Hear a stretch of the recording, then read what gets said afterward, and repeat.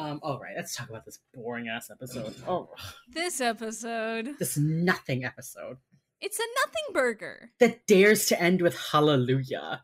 I know they did not do anything to earn their fucking hallelujah. It was like it was like one of those things where like the whole time I was like, okay, like fine, whatever. Like I'm watching this. It's like an episode of Criminal Minds, I guess. And then all of a sudden at the end, Gideon got like super like, I don't want this guy to die. And then he like dies, and then they're all walking around all sad with like hallelujah playing, and it's like, what? like what? It's sort what? of- it gave me the sort of whiplash that I imagine our listeners would get if I played a cover of Hallelujah at the end of Oh, our oh. podcast episodes. I think that it would be like a similar, just absolute tonal whiplash. This episode just ends with hallelujah. But here's like the thing, James, is Jay, you would need to you would need to sing a cover of Hallelujah because there are no covers of Hallelujah that I could use that would not get us copyright stricken. I can So do I it. Fuck like, the- yeah. I've seen Shrek. I know the words. How many times do you think I've seen Shrek? Because it's ten times more than that. I know every word to that goddamn movie. Why? For and for what? All right, And why is that your point of reference for Hallelujah? because that's that really dramatic scene where like all of the fairy tale creatures have like left his swamp and like Fiona's getting married, so he's like eating all alone, and it's like. I heard there was a secret chord, you know, and Fiona's like wearing her wedding dress and she's like all sad about it and like it's all dramatic and it's like fucking Shrek. Shrek is cinema. Like I'm I am saying that unironically. Like please as an adult go watch because it is an amazing movie. Like the musical I mean, I like the musical, but it's dumb as hell. The sequels are like fine. The first Shrek movie is honestly a cinematic masterpiece. It is a masterclass in storytelling. And I'm I'm not joking. Like I'm not joking. I need you to know I'm being so serious. Shrek is a film. it's not a movie, it's a film. I'm serious. I know, I know you are, and I, I agree with you. I just Top 10 put- films ever made. It's like Schindler's List, Shrek. Number two. Number two. But water is Schindler's List. Number two is Shrek, yeah.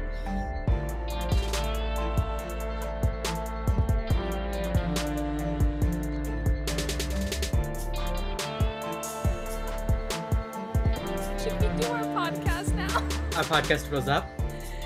yeah, the the, the Criminal Minds. I dare you to leave this in. I dare Oh, you to leave my little Shrek montage in. That's gonna be the cold open to this episode. we have better cold opens than fucking SNL now because it's just Shrek. Hey B, do you want to do a podcast called Wheels Up about oh Criminal Oh. Minds? Jay, I would love to do a podcast about Wheels Up. I would love to talk about season one, episode seventeen, "A Real Rain." Yeah. Which we'll talk about that quote when we get to it. Um, because I think I misheard, or it's very stupid. Um, but we'll get there. Uh, anyway, um, I feel like the last few weeks for us have been like a real journey that's because we way to call it. had because we had like un we had like ride the lightning then unfinished, Unfinished business, Business, The then Tribe. the tribe which was. A whole episode and now we have this one this and I feel like- mediocre milk toast piece of shit yeah doesn't earn its ending. Like, like for It better or for it. worse, there was a lot to talk about with like Ride the Lightning. There's a lot to talk about with Unfinished Business, with even the tribe. But then it's like this episode, and they went, you know, we had three big ones. People will still be talking about those. Let's just slip a little just a little like justice one in Just here a you know just like a little dude. just Well, I've got a little lot. guy. Of, I've got a lot to say about what they consider justice in this fucking episode. Yeah, there's a lot to get in here. I feel like this episode is a nothing burger, but there is one like shitty tomato on this nothing burger, and that is everything they say about justice. That's the only thing that is on this nothing burger. I do want to make like a quick like let's talk. So let's talk about it real quick. Um, I don't think this episode takes a stand one way or another on whether or not the killer is right. Correct. I think it pres it you know quotation marks presents um both sides, and then it just like lets you decide, you know, because like they end with those, you know, interviews of people being like, no, he was just a murderer, or like, yes, he did what we all wanted to do, etc., etc. You know, but like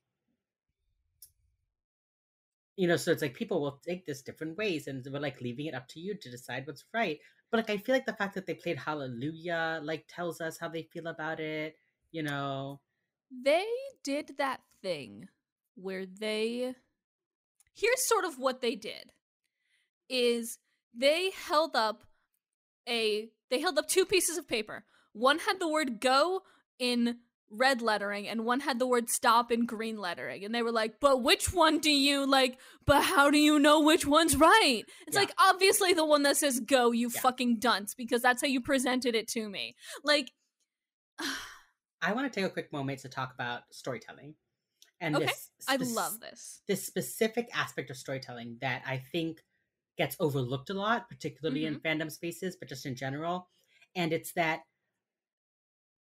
the story itself, the writers of the story have an opinion on the mm-hmm. events that happen in it. Right? So mm-hmm. in the episode, there are people that support the vigilante, there are people that condemn the vigilante, but the episode tells us how it wants us to feel. And this happens in other in other shows, right? Like mm-hmm. somebody will make oh it happens it happens in criminal minds you know think of a time when um you know maybe reed like will scream at one of the other members of the team and the show will very clearly be like this is reed being out of line or this is reed you know speaking his truth and it's mm-hmm. like it'll be the same situation you know, both times it's Reed, but the way the episode has its characters react, the way the uh, the episode has consequences or not, you know, all of that tells us how the show itself wants us to feel about that particular incident. And I think mm-hmm. this episode, you know, they kind of are trying not to do that, not to pick a side.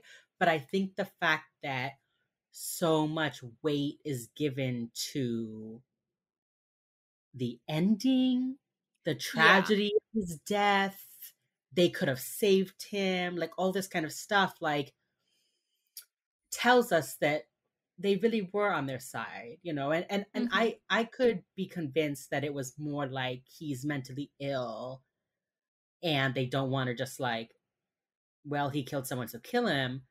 But it doesn't feel like that when you watch it.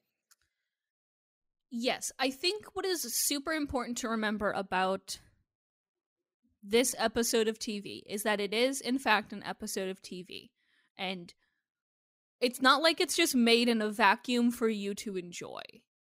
Right. There are people who have opinions and intentions who made this thing. Yeah. And sure, some things might not, like, they might not have intended us to take X symbolism when they made JJ sit next to Reed on the plane. Sure, they might not have, but we're still going to read it like that because that's mm-hmm. how it looks.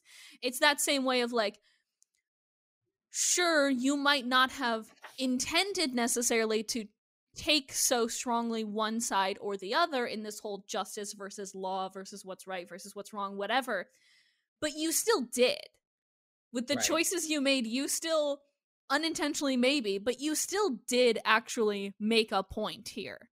Even if yeah. your point was trying to display both sides and like Right, not taking a stance is also taking a stance. Exactly, exactly. Right. And you so know, I think it's important to remember that like this is a TV show made by people and people have to make decisions to make this exist.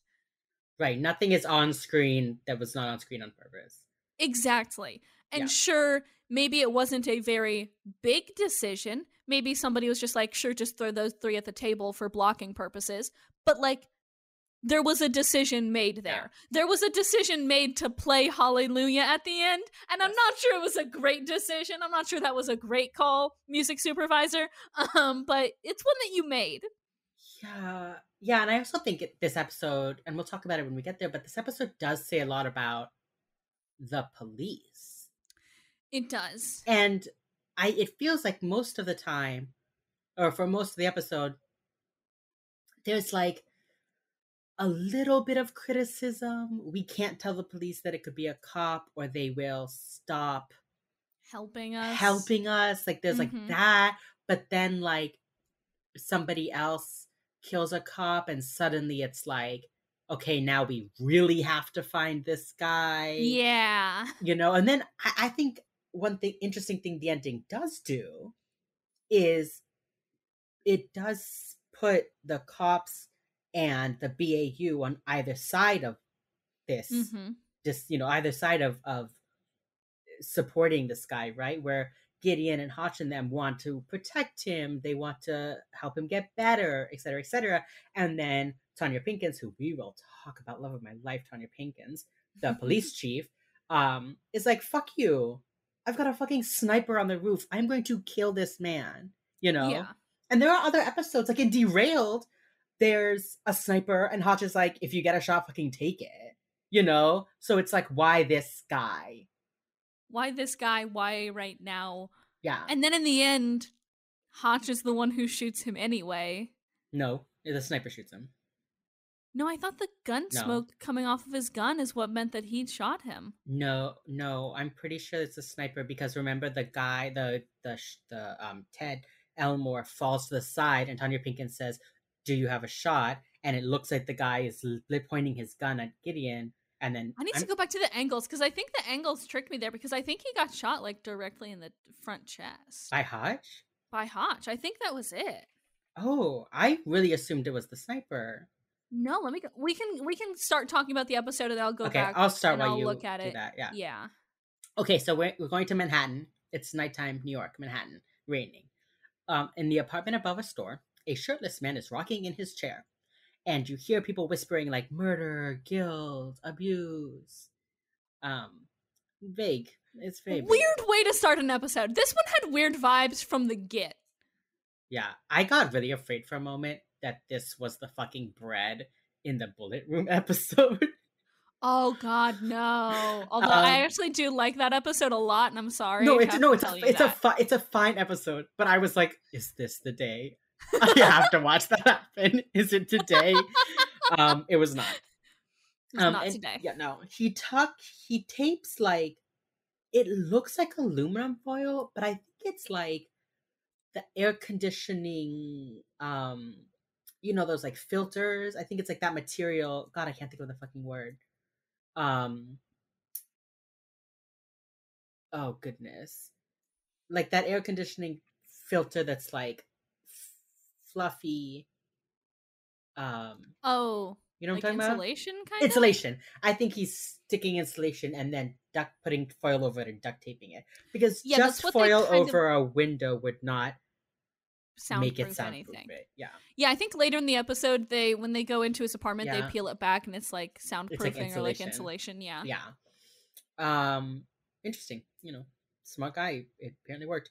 Um, so he's dressed in like a hood, and he goes out into the streets in the rain. He's got like twitchy fingers, and we don't know what that means yet. He's just got twitchy fingers.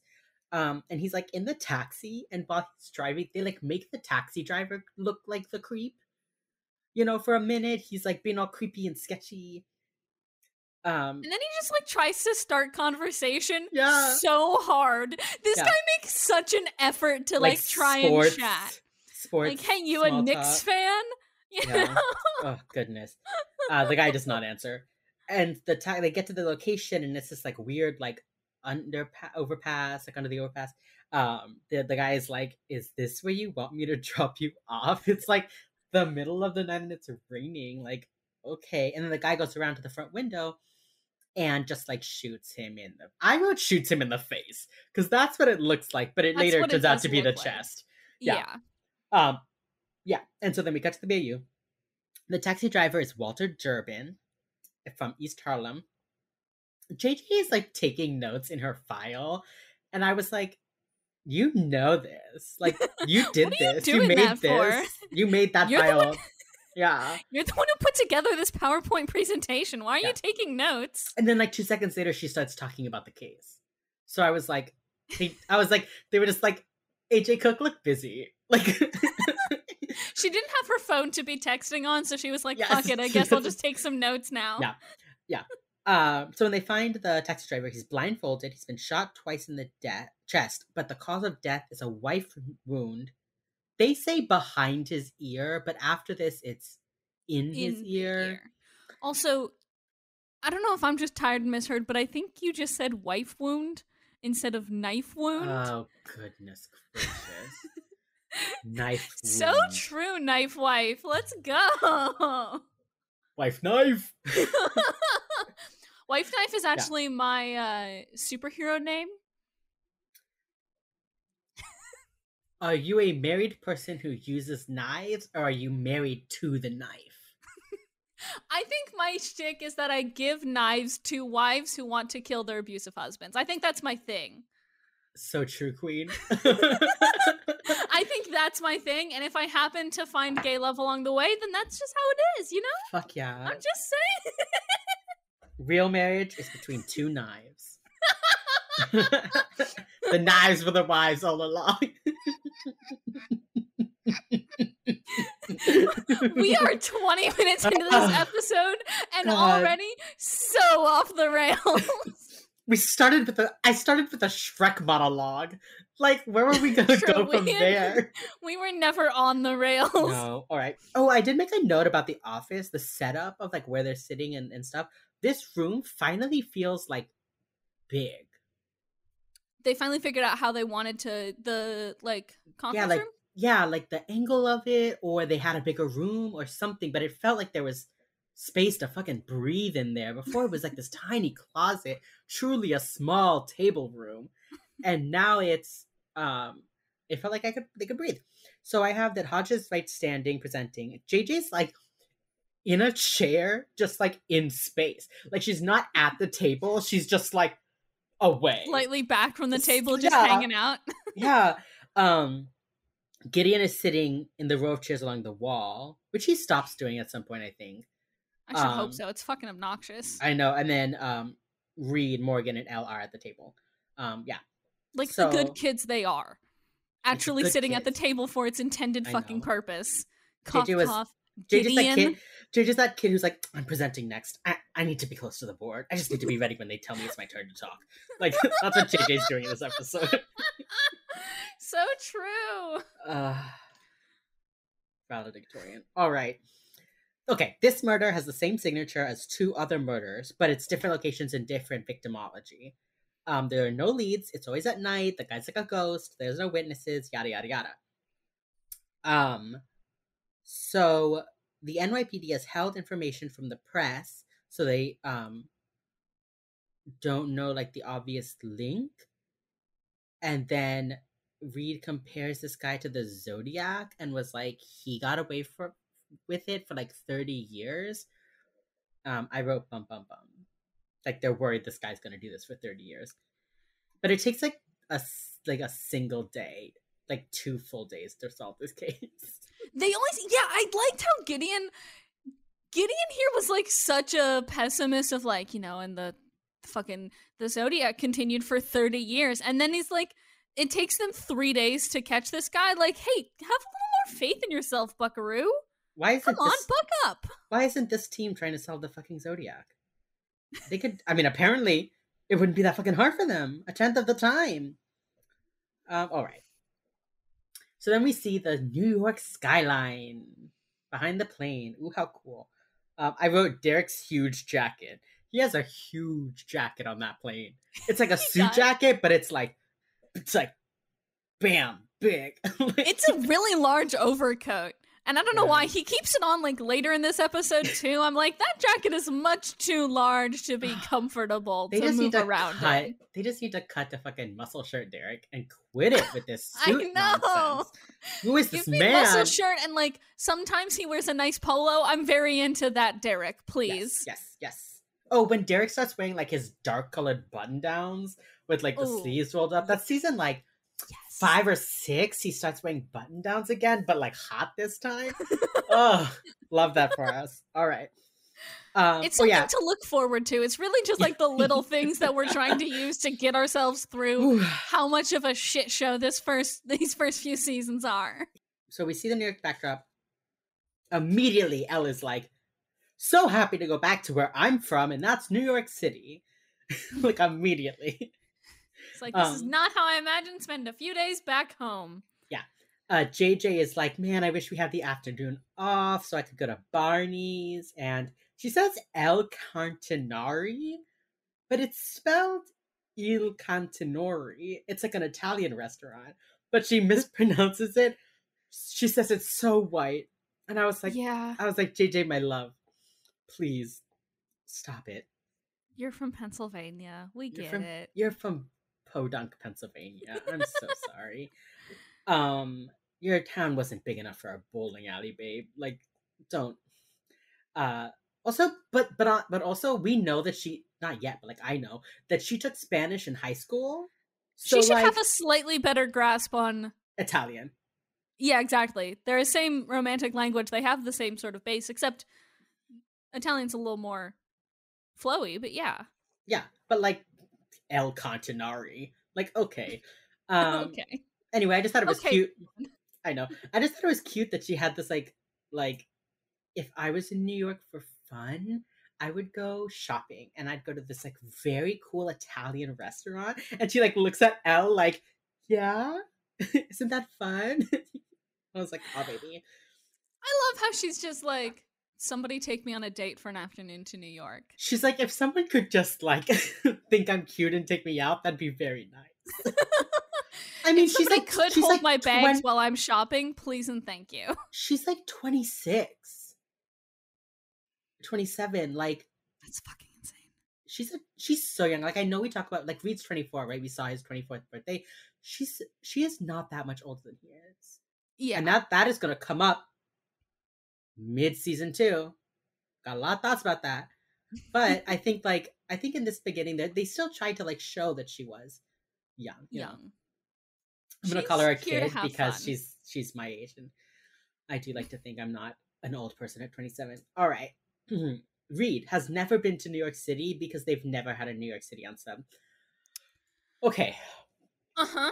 two parts to this Yeah. one one reed what the fuck go to new york city you live in dc Even I've been We're to so New York close. City, right and I'm from fucking Iowa. Like, right you have no excuse, Reed. Yeah. Um, and two, the BAU in the like four years Reed has been there has never had an unsub in New York City, one of the fucking like crime capitals of our country. And like after this, they go back to New York City like once a season ish. Yes. About. They go there fairly frequently. Ugh, come on, come on, Reed. It's Come on, like they always have their like one one like episode a season of New York, of LA, and then for some reason in like five, Mhm. seven, five through nine, they go to Kansas City a whole bunch for some Yeah. truly terrifying cases. I do like Hotch leans over to Gideon and says, "You should make Reed take a vacation." And Gideon goes, "What's a vacation?" And then just like stares at him. And Hotch is like, "Okay, Hey everybody, if you have PTO, take it. take it." take your fucking paid time off. If you Yeah. can take a vacation, take it. Yeah. Even if you don't go anywhere, just fucking take a vacation to not go to work sometimes. Staycation. Staycations are fun. Derek is like, it's only a one hour flight, it's only a three hour train ride. And then JJ offers to show Reed around if they have time after the case. And I was like, you know, speaking of choices to have them sit next to each other, I was like, this is cute. Like I don't ship it, like they feel very like, okay, we're doing a brother sister thing now. But it was like a but it was like a cute, like all the kids sit next to each other and play cards, which they do again and again. Yeah, they play cards. They play cards on the plane a whole bunch, JJ is the only person who can beat at cards. which I love. which I love, and that comes up several times. Um, he's like, "I'm from Vegas." When other people like, when he like wins, he's like, "Haha, I'm from Vegas." But then JJ does win several times.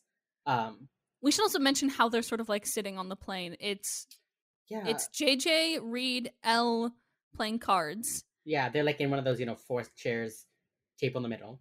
at the table, and then Derek's just hanging out, He's just hanging out in his big coat. He's doing the thing where he like sits on the arm of the couch to be like parallel to the table. yeah, Even though there is an empty seat. Elle said, No one sits next to me. Elle says, says, "I'm "Fuck you, this get is over for my coat. This is for my coat and purse. Actually, you can My- hang out over there." This is my my bag is sitting here. Derek. yeah, that's Elle. Uh, and then Hotch and Gideon are like on the end of the couch, like sitting next to each other, talking about work. They finally Hotch is like, all right, let's talk about our fucking job. And then which I love. I also thought it was interesting. Most of the time we start with them talking about the case and then they break off to do fun things. And in this episode, they start they're like already in the middle of a card game when Hotch is like, all right, come on, like let's talk. I thought that was cute. They're like, no, let's do hang out like first that. especially because it is, as they've mentioned, a one hour plane flight. It's not a very long flight. No, so Hotch is like, yeah, go ahead, have some fun. We'll powwow five minutes before we land. Like, it's a one hour flight. It's also just like I don't know. To me, that's like the implications of what happens as they first get onto the plane is always so interesting to me. Of like, how does everybody choose where they sit, or what they're doing, or who's presenting the case, or like Mhm. who starts up the laptop so they can talk to Garcia. Um, I like the implication of this of them playing cards first is that the kids were already playing cards when Hotch got on the plane and they left. and they kept and they their were like- hands. they were like, actually, we're just gonna finish this game if you don't mind. And Hotch just like, okay, sure, okay, fine. Elle, JJ, and Reed are like all surrounding Reed's desk playing cards, and Hotch is like, "Come on, wheels up, we got a case." So they just like put their hands in their pocket and they gather their things, and everyone gets on the ca- the plane, and then they like sit and pull their cards out and continue playing. I really enjoy that as as. I really just like it of like, we're gonna finish this game, by the way, if you don't mind. I know there's a serial killer, but we're gonna finish this this card. Nothing game. we can do from the plane. Like exactly. so fucking funny. All right, Hotch, get down to business. It's a blitz attack. They think it's a blitz attack. Um, random, all that kind of stuff. Must be. Mo- it's mostly men who do blitz attacks. Mhm. Derek says he is. He's not a brother. Uh, because he does get a taxi in the middle of the night in the rain. Which is so true. Which I was like, good for you, Derek. You should, and you should Derek. say it. It's true, and you should say it. And then Al like looks at him and like laughs, and then they were like the two people of color on the plane, you know? I'm like, yeah, you're right. Yeah, I'd love yeah. it. Yeah. Um, Reed says he has to be highly intelligent. Elle says that blitz attackers are textbook disorganized, and Hotch is like, but he brings his kid along. Uh, they agree to split up, and then they're like, why does he blindfold them? Like, why is he like trying to avoid attention? Like, this isn't stuff that like blitz attack blitz attackers do. Um, and then they said he probably blindfolds him because of remorse. It's usually a sign of remorse. Mhm. I don't think that comes up again. Like the blindfolding does, you know, because we get a few more victims, but like the remorse aspect of it, they don't really explore that very much. They really don't actually. I mean, like, there's You know, they they vindictive isn't the right word, but he's a very much like they did something wrong, so I have to kill them. If I kill them, the voices will stop. You know, there's not really any like he doesn't seem to be remorseful about any of it. Even when that one kid is like in his arms, the victim is like, I have to do this, I have to do this. Mm-hmm. He never is like, I'm sorry, but I have to do this, you know? Yeah. This is, I think, another one of those early criminal minds things that they do where they just say a lot of things and then they discard pretty much all of it. Yeah. And and they do, but it's like sometimes they discard it, like they do with the blitz thing. Later they're like, he's not a blitz attacker. We Mhm. were wrong about that. So they do sometimes like that. They'll admit they were wrong, they change the profile, but sometimes they just like drop it. Not a big deal. It's whatever. It's whatever. it really feels like so you know how so a lot a lot of crime writers a lot of authors who write fiction about crime hmm often will say that they what they start with is like the crime and then they work backwards to see how each piece needs to be discovered hmm to be Yep. caught right criminal minds feels like they start at the beginning and they end up with a crime Yeah. You know, like like the, here's our profile on the plane. They have the plane conversation, and then halfway through the episode, they're like, "Oh, this doesn't fit." Okay, well, we were wrong about the Blitz attack. Like, it, it doesn't look like it's gonna go that way. And then by the end of the episode, they have like they write. You know, it's like they have a profile, and then they create a criminal that will fit that profile. That's Yeah. how I feel like the episodes are written. Like, it's not like here's our criminal, let's profile him and spread that through an episode. It's more like here's the profile of the killer. What does he have to be doing at the end to match that? You know. I don't think it's necessarily always bad. Sometimes, I mean, there are some good episodes of this show that I genuinely am like, yeah, this show oh is shit, good. bruh. Yeah, but sometimes I'm just like, oh, so you like lost your sticky note with your profile on it halfway through writing this episode, or what? You know? It's funny that you say that because I have one sticky note for this episode as well. I have one note to mm, say. Wow. And I do have ten and a half pages. Again, this is just how we this is just how it goes. Jay, don't worry about it. Yeah. All right. It's fine. Um. Okay. We cut to the crime scene. Gideon is wearing a leather jacket. Made a note about that. Weird. Uh. And Reid is there. They meet the police chief of the precinct, and it's Tanya fucking Pinkins. Okay. One of my favorite musicals of all time is Caroline or Change. And Tonya Pinkins plays the lead character, Caroline. And oh my goodness, I am obsessed with that musical. I listen to it constantly.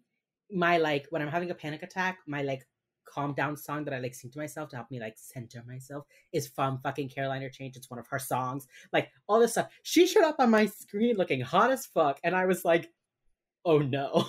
oh god. yeah, no, I like women. I do enjoy women.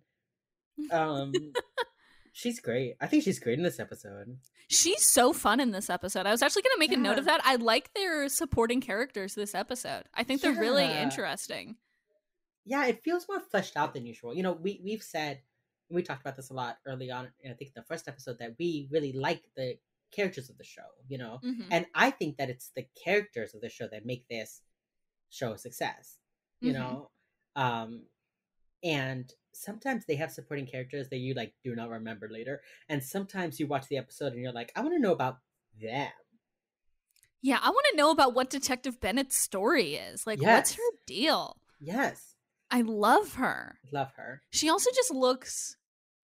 You're right. She just looks hot this episode. She's just so hot. she is. Like thank God our first MILF of the show. I like how you're assigning her MILF status. I am. And you know what? As is your right to do so. Continue. Thank you so much. The metro doesn't even stop at this stop at that time of night. Mhm. Um, and so like there wouldn't have been people coming and going. No one would have seen them. So like they're like, okay, he must have known that. The unsub must have known that beforehand Mhm. because, um, he, The he building- him drive him here. Yeah, like the know? building nearby is abandoned, so there was no reason to be there. Yeah. The train goes express at that time. Yeah. Like, so like he must have known beforehand. Um, they look at the last stop for the taxi, and it's Church Street, and Tonya Pinkins says that it's the only entry point for Brooklyn. No, it's not the only one. It's the entry point for Brooklyn, and there's a dive bar there that the cabbies go to. Mhm. So like he knew that, and that's where he was picked up. So he like went to this bar where he knew there would be cabbies. Um, and so that's when they decide like he's not disorganized after all, which is what then leads them later to him not being a blitz killer. All right. mm-hmm. Um, Derek and Elle go to Rachel's home. Rachel is one of the two previous victims. They do not talk about the other previous victim at all they really they, do not. They say what he does. I think it was like he killed someone drunk driving. yeah, and then he was found murdered at his like paint studio. Yeah, and I do remember one thing they say about him. They were like, he was a drunk driver. That could happen to anyone. Which Like anyone could be a drunk driver, which like logically, like sure, but also like no, no, it's a type of person that chooses to get behind the wheel of a car drunk. Exactly. in New York City when there are plenty of alternatives. You know, so I don't I don't like that they were like, well, that was not a big deal. Like, Yeah, they were like, it's whatever. You know, people drive drunk. It's like, no, no, we don't have to. No, we we really don't. Friends don't friends don't. drive drunk, especially because Garcia just made that fucking joke. I Yeah, guess friends literally. let friends drive drunk back then, but now like whatever. It's no people do that. It's fine. It can happen to anybody. Uh, also, weren't Garcia's parents like literally killed by a drunk driver? Yeah, they were. Something like that, I think. Yeah. they were like out looking for her, and they did get killed by a drunk driver. But like, oh, friends let friends drive drunk back then. She didn't have that backstory yet. Um, Yeah. that's not the kind of shit you say when you've got a backstory like that. All right. Anyway, they go to so they go to Rachel's home. Rachel was a drug addict. Um, I think I wrote down what she was. She was charged with like fatally in- injecting her boyfriend with heroin and right. then also like cocaine possession is what she actually Right. got like indicted for. But the or Right. like she got that I got to. that's the one that stuck, but the heroin one did not. That one she was innocent. Um, and they treat this oddly in this episode. Her, like, like they say she got off because people say addiction addiction is a disease, blah blah blah. But they say it like that. Well, specifically later on when we get to the reporter Lance Wagner, he's the one who says it and nobody bothers to correct him, so it just sort of stands. And you're Yeah. like, that's weird. But then here at this part of the episode, they're like, oh yeah, she was change of address card, like Yeah, they list of she. AA meetings in the area. She's turning over a new leaf. Good for her. Also, she's dead now. yeah, it's like she hadn't even she hadn't even filed her change of address. yeah. Um, she didn't know her neighbors, so they wouldn't have checked on her. Again, the thing with the neighbors and the checking. I don't know. I don't think my neighbors would. I know them. We wave. We've said hello. I do not think they would ever be like, "Oh, haven't seen them in a while," and like knock on my door. Like it's none of their fucking business what I'm doing with my life. Um, maybe it's different in an apartment. No, not no, really. no, it wasn't at my old apartment. Yeah, Because I'm thinking like the Midwest is notoriously known for how friendly it is. I don't know my fucking neighbors. when I live in an apartment building, I think that if I if, if we had died, it would have been the smell. It would not have Yeah. been like haven't heard them coming and going recently, you know? Exactly. Yeah. Okay, well, she was so she was in AA, AA, which she should have been in NA, Yes. but they whatever. So AA has more recognizable branding, I guess. I guess more name recognition is probably honestly it. Yeah. or 2006 at this point. Yeah, I, I guess. Um, so Hotch's theory is like the unsub broke in and su- or Hotch says the police's theory is that the unsub broke in and surprised her, but you know, and the shot um came from within the apartment, uh, and she ran before she could be stabbed. So he was like, actually, I think that she let him in, and or he, was no, he was already in there. Right. There's a hallway without any windows, and he was waiting there. And when she came, he, she came in, he shot her to subdue her, and then he he did the flint knife through the ear, um, and then broke the handle off. And Elle says the ear is like the softest way to your brain, and Mhm. then I think it's Derek who says, um, in prisons when they do prison shankings, they break the handle because then you can't pull the blade out. Mm-hmm. Um, Reid suggests a serial killer groupie. Um, who's like, yeah, they're like, this is also a this has also been used for or been used by other famous serial killers who have done mhm. this. So he must have And so- studied. The police are like, okay, so is this like a weirdo with an Amazon account?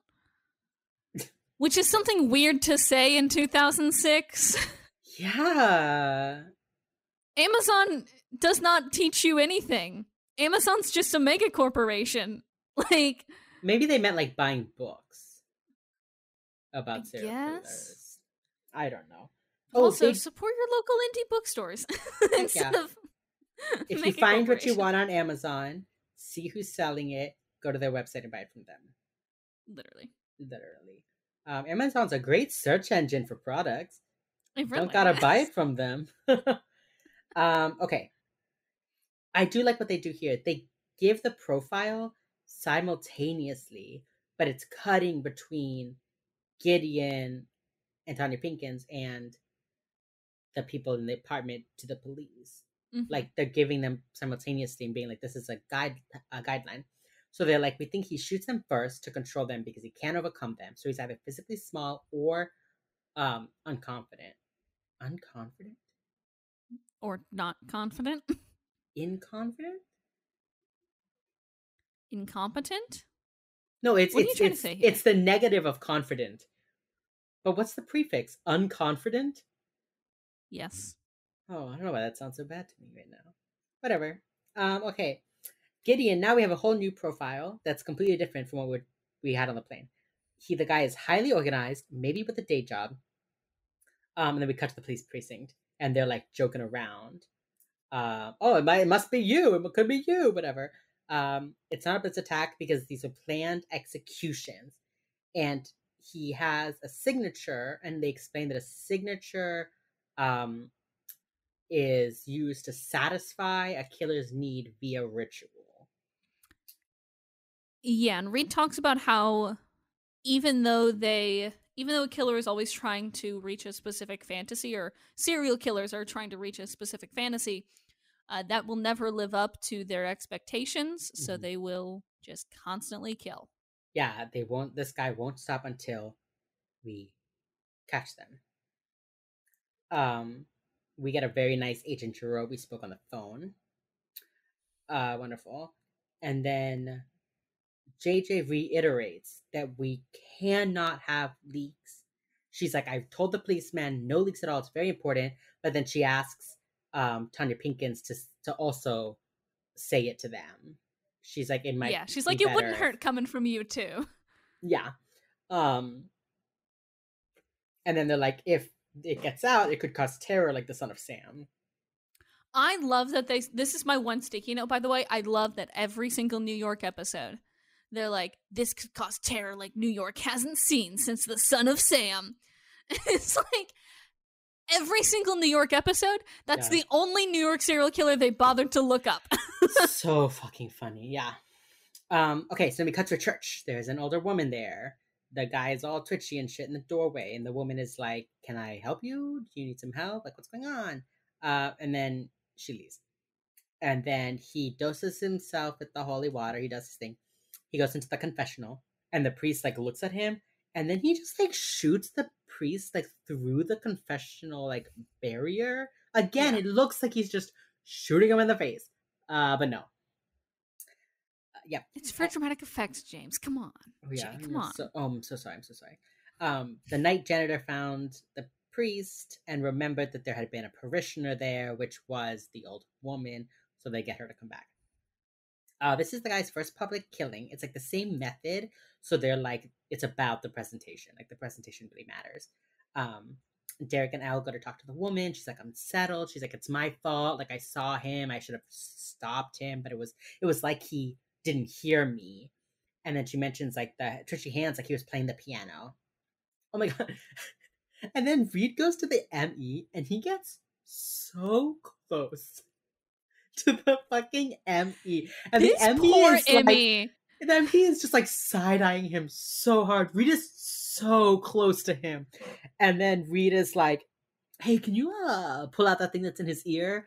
And the Emmy is like, Yeah, I guess. The Emmy does not say a word, just sighs No. dramatically Yes. multiple times. And I think that's so fucking funny. it made me laugh out loud. That Reid was straight up like, I have to be fully pressed to this Emmy. And then I and then when he's really uncomfortable, I will ask him for a favor. It was like, ah, Reid, my boy. Reid cannot he cannot comprehend body language and you know this because of any reasonable person on earth would have stopped after the first dramatic sigh from this Emmy. But it's also like Reid's thing we see it time and again is that he doesn't like physical contact.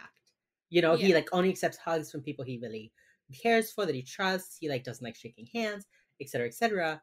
But he like fully koalas up on this Emmy. he is like backpacking on this dude. yeah, it was like one of those things where I was like, okay, we are being told again that Reid lacks social awareness. He can't read body language. He can't read um, other people's nonverbal cues. but they do it in a way that is opposite of how they have characterized Reid. Yeah. You know, so that's a little. I think they just didn't have his characterized. They didn't have his like sheet They were like, he- personality traits he's- down yet. He's socially awkward, you know. That just means He's he does bad at this. whatever.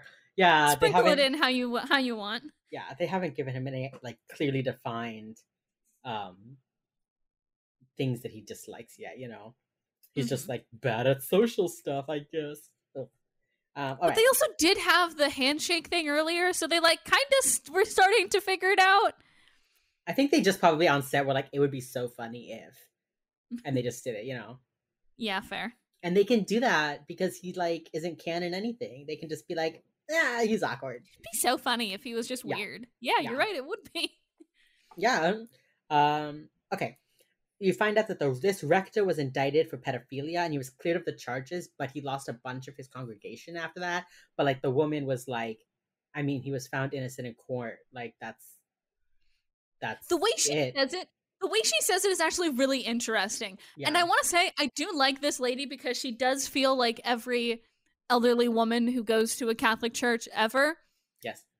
No offense to elderly women who go to Catholic church, but sometimes there's just like that thing and you're like, "Oh yeah, you really did do this."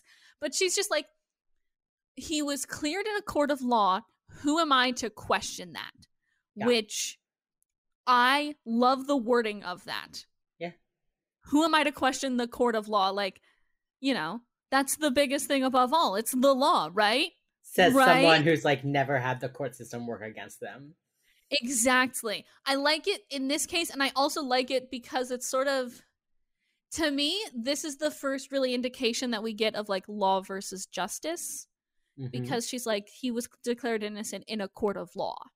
She doesn't Right. make any indication of if she agrees with it or not, or if she thinks it's true. Obviously, she like thought it was good because she's still here, but the way that she like number one mentions it so easily to these agents, and then number mm-hmm. two is like, who am I to question the law? Yeah, I mean, we could put It's a really really, we could put a really like you know metatextual reading on it and say like she's obviously been his parishioner for a long time. So when he got indicted of pedophilia, like she, you know, didn't see it, didn't notice. Not like I'm not blaming him, I'm saying like you know the things that go through your head Mhm. when you find out someone you know and trust has done bad things, you know. So for her, it's like, well, he was cleared. So he didn't do it. So there was nothing I didn't to miss anything. Stopped. Yeah. Yeah. You know, so it feels very much like that. Um Mhm. especially the way she's like talking about this guy. She was like, I should have done something. Like he was right there. I should have stopped him. She like says that about this guy, you know, and then is quick to defend still going to this church because he was found cleared. Like he didn't he didn't do anything. I there wasn't anything for me to stop, you know.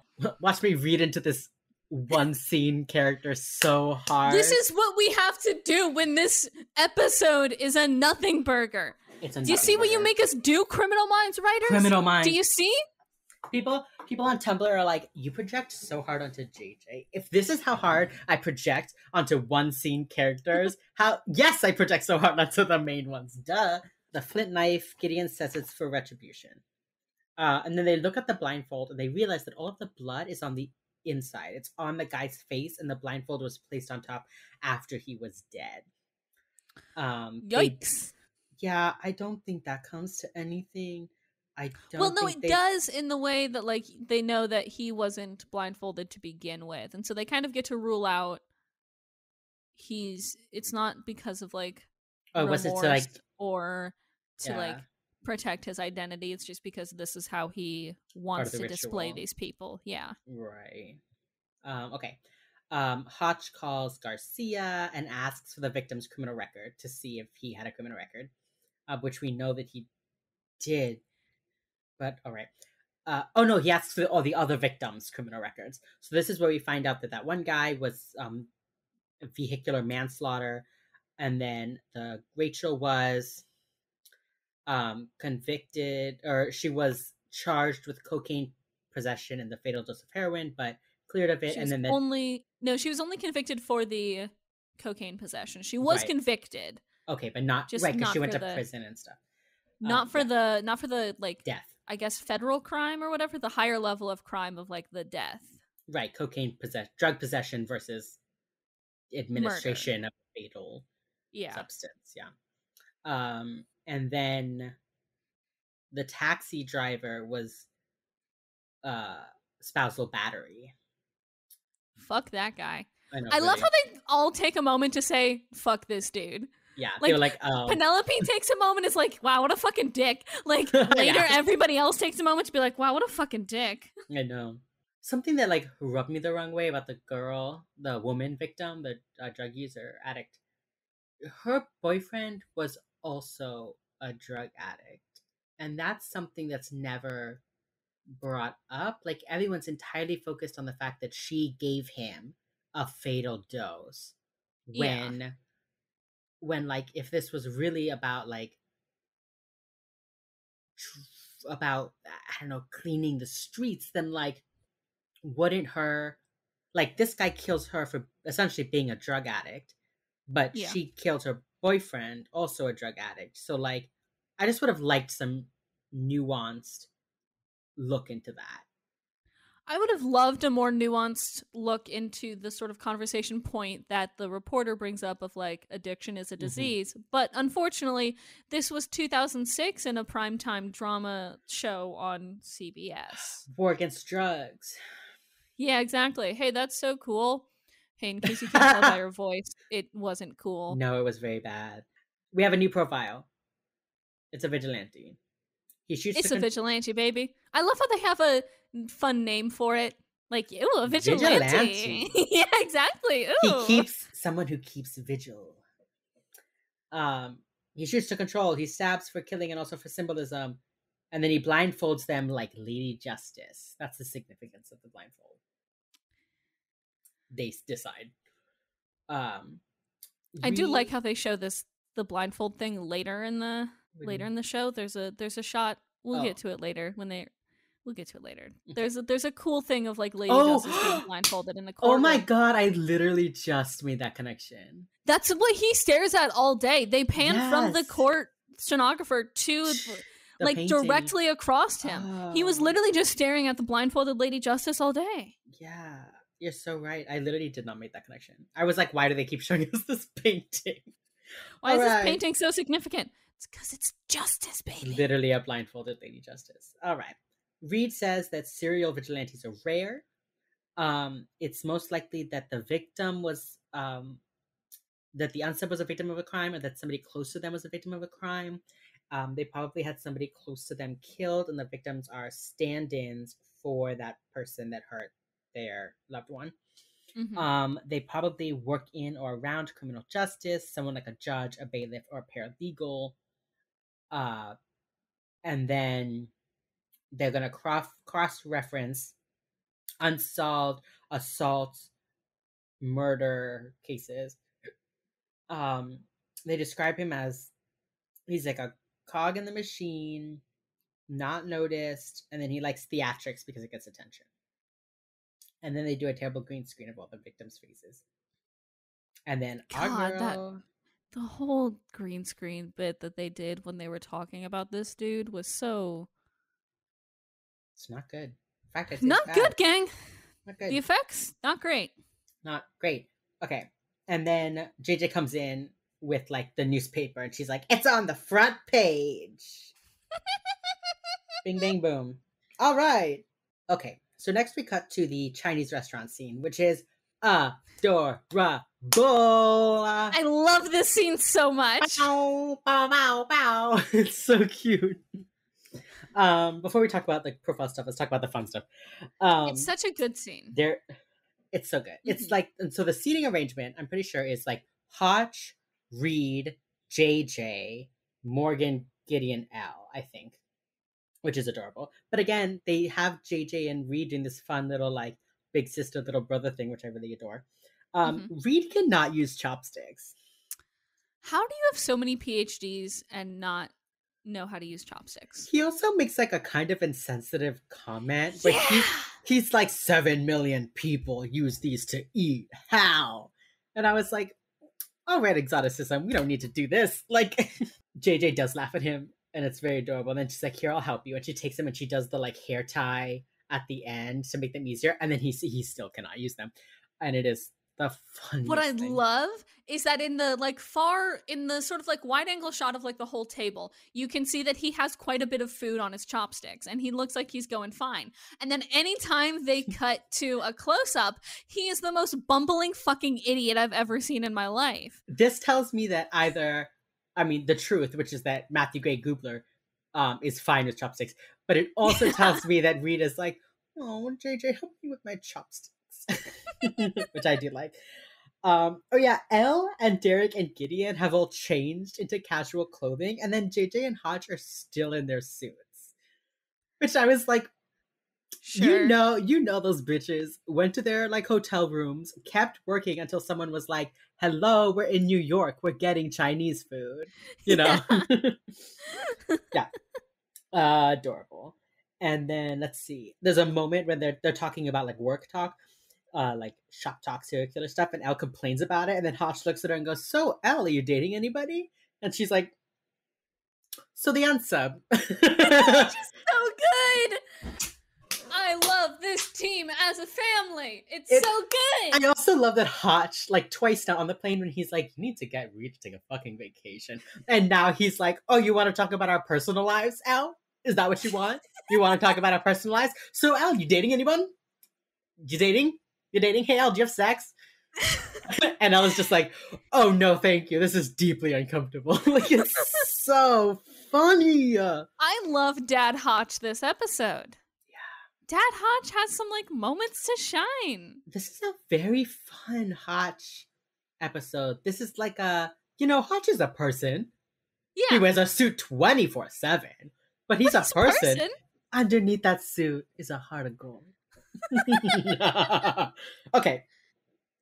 So funny. So, okay, they talk about the hole in the profile, and JJ's like, What hole in the profile? They say it could be a cop. You know, they talked about like close to systems of justice, criminals, etc., Mhm. etc. Um, oh, and I also put that they're sh- oh, I forgot to mention they're sharing dishes. They're like They are. they're, they're like taking some onto their plate and putting it down, and Gideon's like, "Hey, hand me that moo shu pork, would you?" And they like pass it along the table. I was like, I love them. I love And you know that at the end, at the end, like Hotch is like, I'm paying, but the woman goes, Oh, don't worry, he already gave his card. And Gideon like did the thing where he walked in, he handed his card to the waitress right away and said, I'm paying. You know, so Hotch is like, I'm gonna pay, and Gideon's like has already given him his card. That's how I imagine they are every single time they go out. Nobody else even pretends. No one like, else even pay. tries anymore. They're like, they know they're not gonna win this. Yeah. JJ and Reid and Elle are like, I'm not paying for dinner. Hey, free And- food. Morgan, like once a month, Morgan will be like, "Oh, I'll," and then let Hotch be like, "No," you know. Yeah, Derek at least makes an effort to make it seem like he wants to pay for their food. right. The other three, every- not at all. Everybody no. else is like, no, you all can take care of it. Thank you. Yeah. I will take the leftovers though. Thank you very much. Reid and JJ have never paid for a meal in their lives since they started working at the BAU. Elle like tried at first, and then JJ and Reid were like, "Elle, You don't need to. Elle, do you want to pay for this entire team to eat Chinese food?" And she's like, "No." no, actually, I I'd rather not pay at all. Wonderful, beautiful. um, okay. Uh, they're talking about that. It could be a police officer. Funny, it's cute, it's cute. Uh, Hotch asks if she's dating anyone. She continues to talk about work, and then she's like, "Okay, well, fine. Why aren't we gonna say it's a cop?" And then this is where they say the cops would stop helping us. Yeah, I- I think Gideon, the specific line Gideon says that they would like close ranks or something like that. Yeah, which is it's weird to me because literally in LDSK they mentioned that it could be a cop to the cops.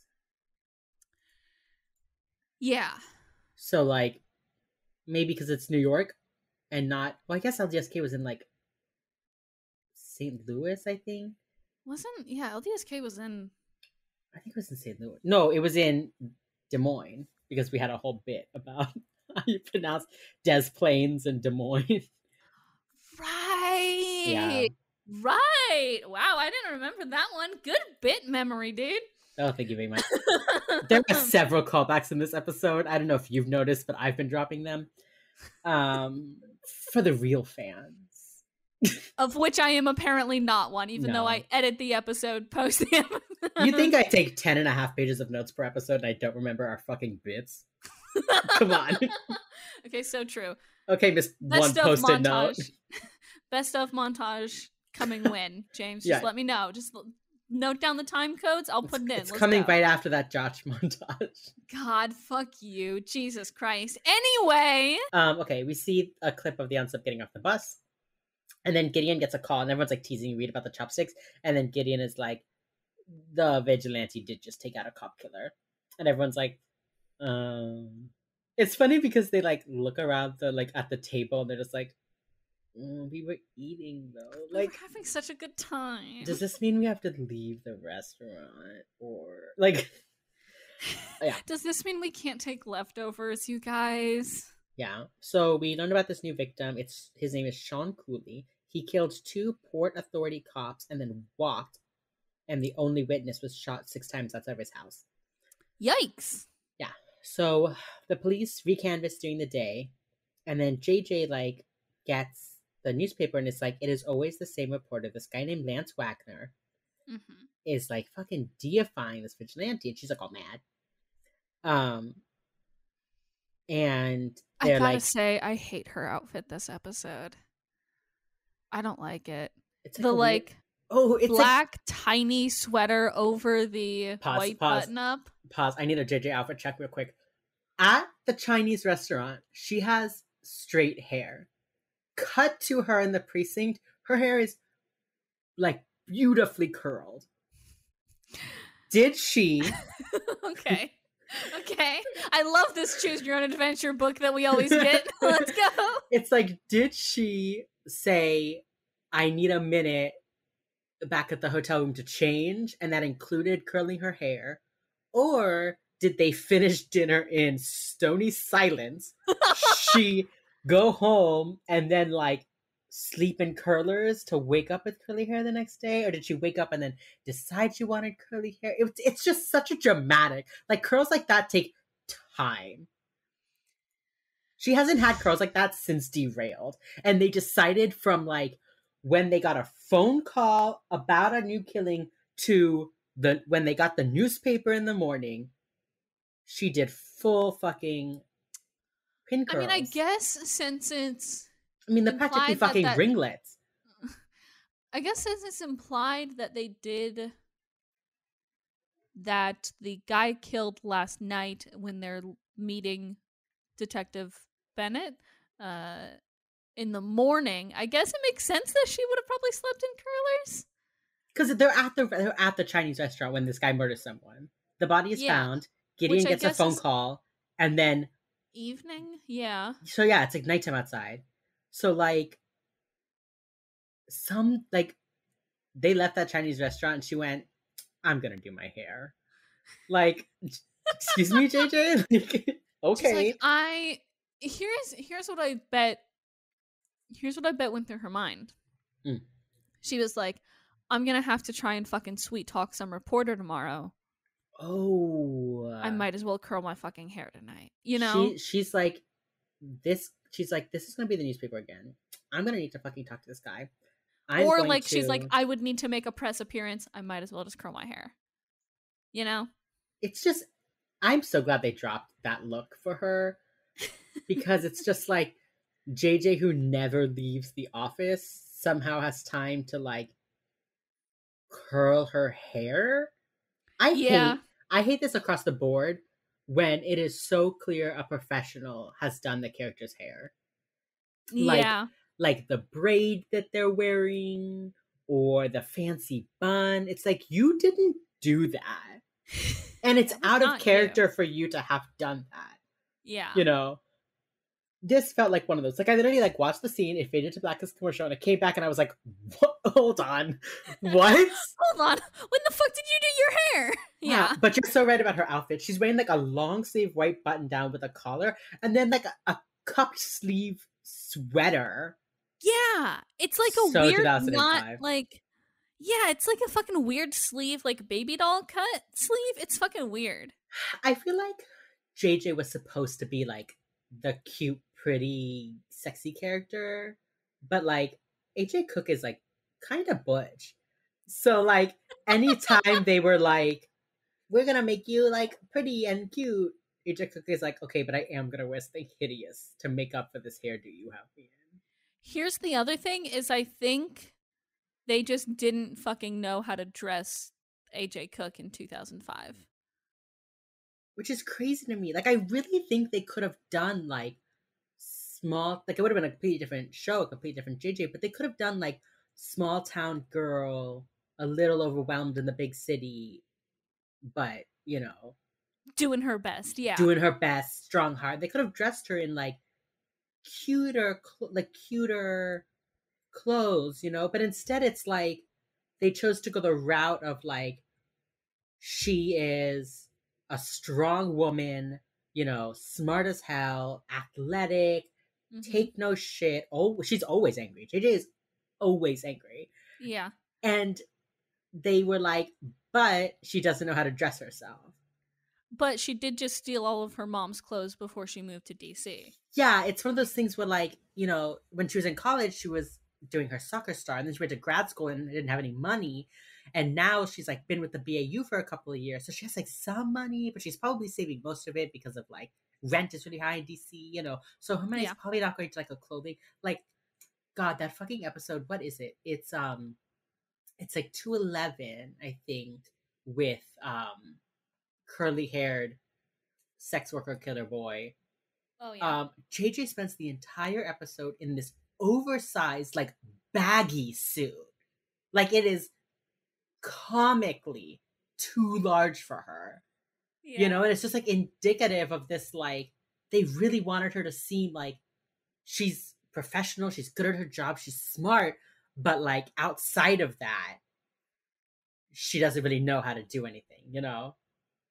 But then they just like... drop they just drop that in season three. She gets wow, chef's kiss so hot start dressing her real right. yeah. yeah, they really start treating her right later. But I also just think, I guess we've talked about this a lot. I don't think the wardrobe department on these early seasons was very good.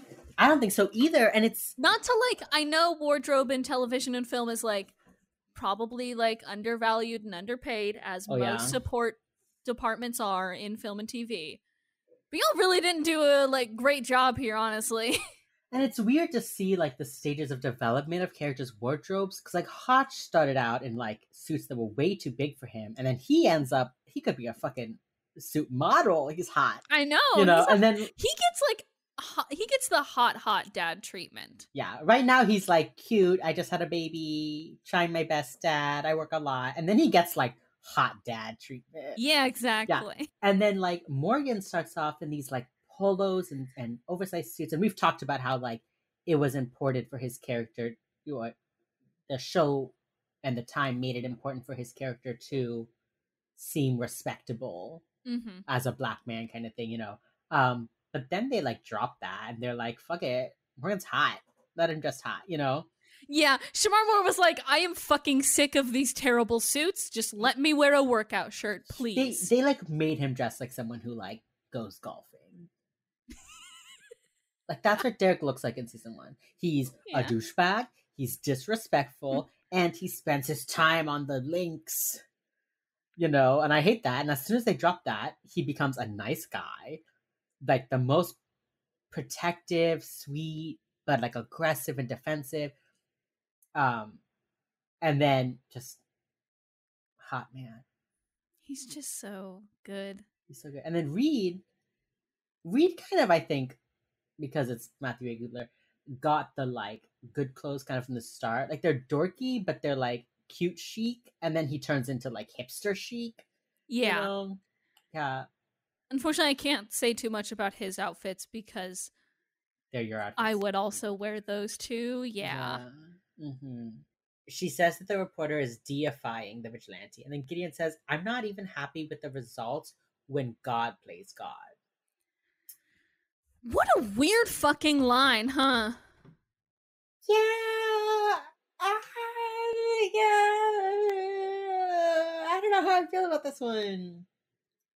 Like, I mean, sure, I get it. Like, I get the sentiment, but he's he's very pro God, ain't he?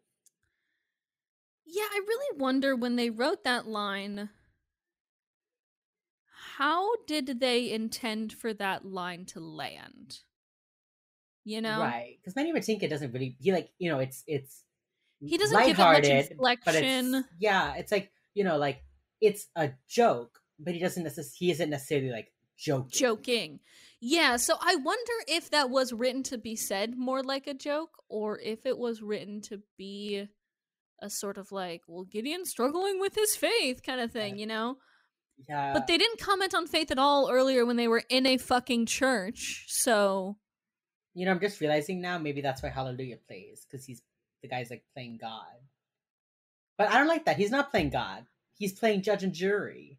He doesn't have. It's not a religious thing, you know. yeah, and also the, the like, hallelujah doesn't.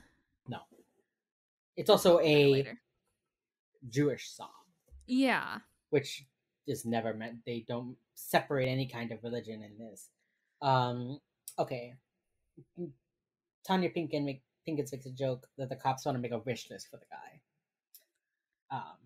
I like that they use her as sort of like a temperature check on the police, but also like she's just a genuinely like good character. Like she comes up with like some coffee and just just like chatting with the it's with the Tonya BAU. Pinkins is the best person on the planet. so true. But I like this is I think one of Yeah. the first cops that like I remember from early Criminal Minds. Like I don't remember any of the other cops they've worked with before. I, I only the only other one I really remember is the LDSK. But that was similar, a female, a black female chief, you know, who's Yeah. like who's whip smart and is on the BAU's level. Yeah, I like Um, it because they don't like need to explain to her everything. They I sort think- of just like let her figure it out, which I think is what makes the cops more the beat cops on the show more enjoyable. It can only do so much, but Yeah, you know what I'm thinking now? When they go when they have cases like in cities, like I just watched um 219 which takes place in San Francisco. Um when they have episodes that take place in cities, the cops are more like on their shit. Like they know a little bit more about stuff yeah. as opposed to like when they go to middle of fucking nowhere, you know, Tiny towns, where cops don't know anything. yeah, Yeah. they have to do a lot more like explaining. So I think because like the two that I really remember from this season are the one from um Des Moines and this one from New York. You know, places where crime happens more often. Yeah. You know, as opposed to like who the fuck else in those tiny towns we keep talking about. You know, like who are those police officers? They're no one. Yeah. Um, yeah, it's like the episodes. Like there's some episodes where cops are like tools, and there's some episodes where cops are characters. yeah. You know, and I think this one is very much the cops. She's kind of standing in for all the cops, but the cops are a character. Character. You know, Yeah. how That's a the good way to put it. How the cops are reacting with their, you know, responses, et cetera, et cetera, matters in this episode. So we have a well-developed cop character to voice how the cops are feeling, as opposed to just like, well, all the cops are confused, you know. Yeah. Um, yeah, no, yeah. you're totally right. That's just That's a good way to word it. okay. They say the episode title because they get a letter that says, "Someday a real rain will come and wipe all the scum off the streets," and then Reid says, "Taxi driver." Uh-huh. Is Well, that a quote they from don't the get a movie Taxi letter. Driver? They don't get a letter, by the way. That's a quote from the article by the journalist. Oh, he is he quoting the killer or like himself? I think That's Hotch just line. Hotch just reads a quote, and I think it is Uh. from a movie Taxi Driver. Someday a real rain will come and wash all the scum off the streets. That is a Yeah, taxi driver. from Taxi Driver. And you know who knows that? Reid. Reid, I don't know what Twilight is. What is that? Is that a song? Can no recognize a fucking quote from Taxi Driver. Taxi Driver is from 1976, Taxi Driver is one of those movies. from That, before like, Reid was born. Yeah, and Gideon even kind like of. Gideon also I'll I'll bring this up in a second. Um, but like Reid, like a little while later, Reid makes a reference, and Gideon says, Reid makes a reference about a crime, and Gideon says, "You weren't even born," and Reid says, "I read a lot." And it's like a cute interaction, but like it happening in episode seventeen, Feels weird. like Reid was talking about the Zodiac killer earlier. Where was, was that? Like you weren't born yet. Then why now? Why this killer? I don't. Gideon, my guy. I Come don't on. understand the way he sees Reid. Gideon is like sometimes think- Reid is a tool, sometimes Reid is a character. like I think Gideon forgets what happens the previous episode every new episode. I think he just forgets. Gideon is full mind wipe, no character growth. yeah, exactly. I'm right. Yeah, you know it. No, I now that you say that, Gideon really is like, what? I've been to Des Moines? Like Also, I have to say the LDSK episode was in Des Plaines. Oh, Des Plaines. Des Plaines. Des Plaines, Illinois. Oh right, it was in Des Plaines because we were like and we were It's-" joking about Des Moines. Yes. Yeah, okay. Des Plaines. I'm sorry because I knew somebody else was gonna come and get our ass for that. so I had to be the one to get your ass first. That's fine. Oh, you can get this ass anytime. Don't. no. No. All right. No. Okay. So then they're like, well, he hasn't contacted the Unsub hasn't contacted the press. Don't they always contact the press? And then they're like, the BAU says no, because it's not about clout. Like this guy has a mission. Um, and then JJ says, I'm going to contact the press archives and find the next victim. I'm gonna catch the victim before the unsub does. And I said, fucking get it, JJ. Yeah.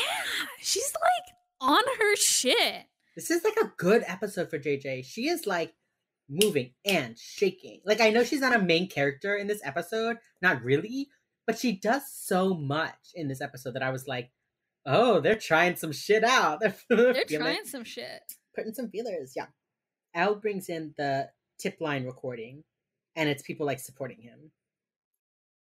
Um, Derek, I put Derek gets a Penelope call, flirting.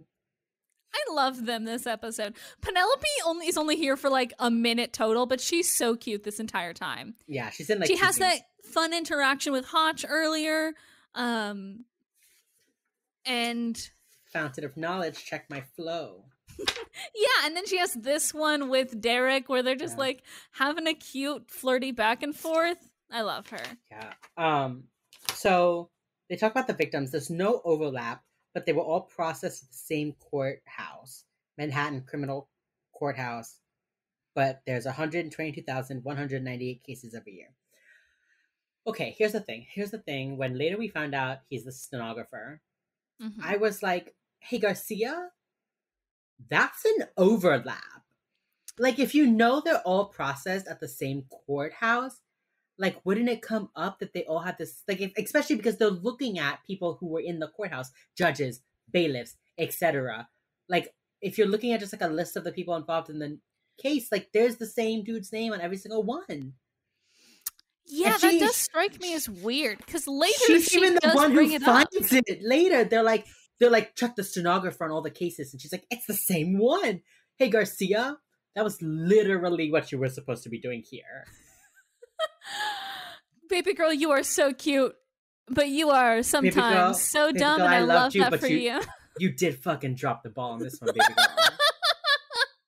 How much Sweetheart. faster? Sweetheart, I adore you, but this one was a fumble. I'm not gonna lie to you. imagine though, like they call Garcia, and she's like, "Yeah, actually, they all have the same court stenographer," and everyone goes, "Oh, let's let's go talk to him," and then it's like, "No, it's him."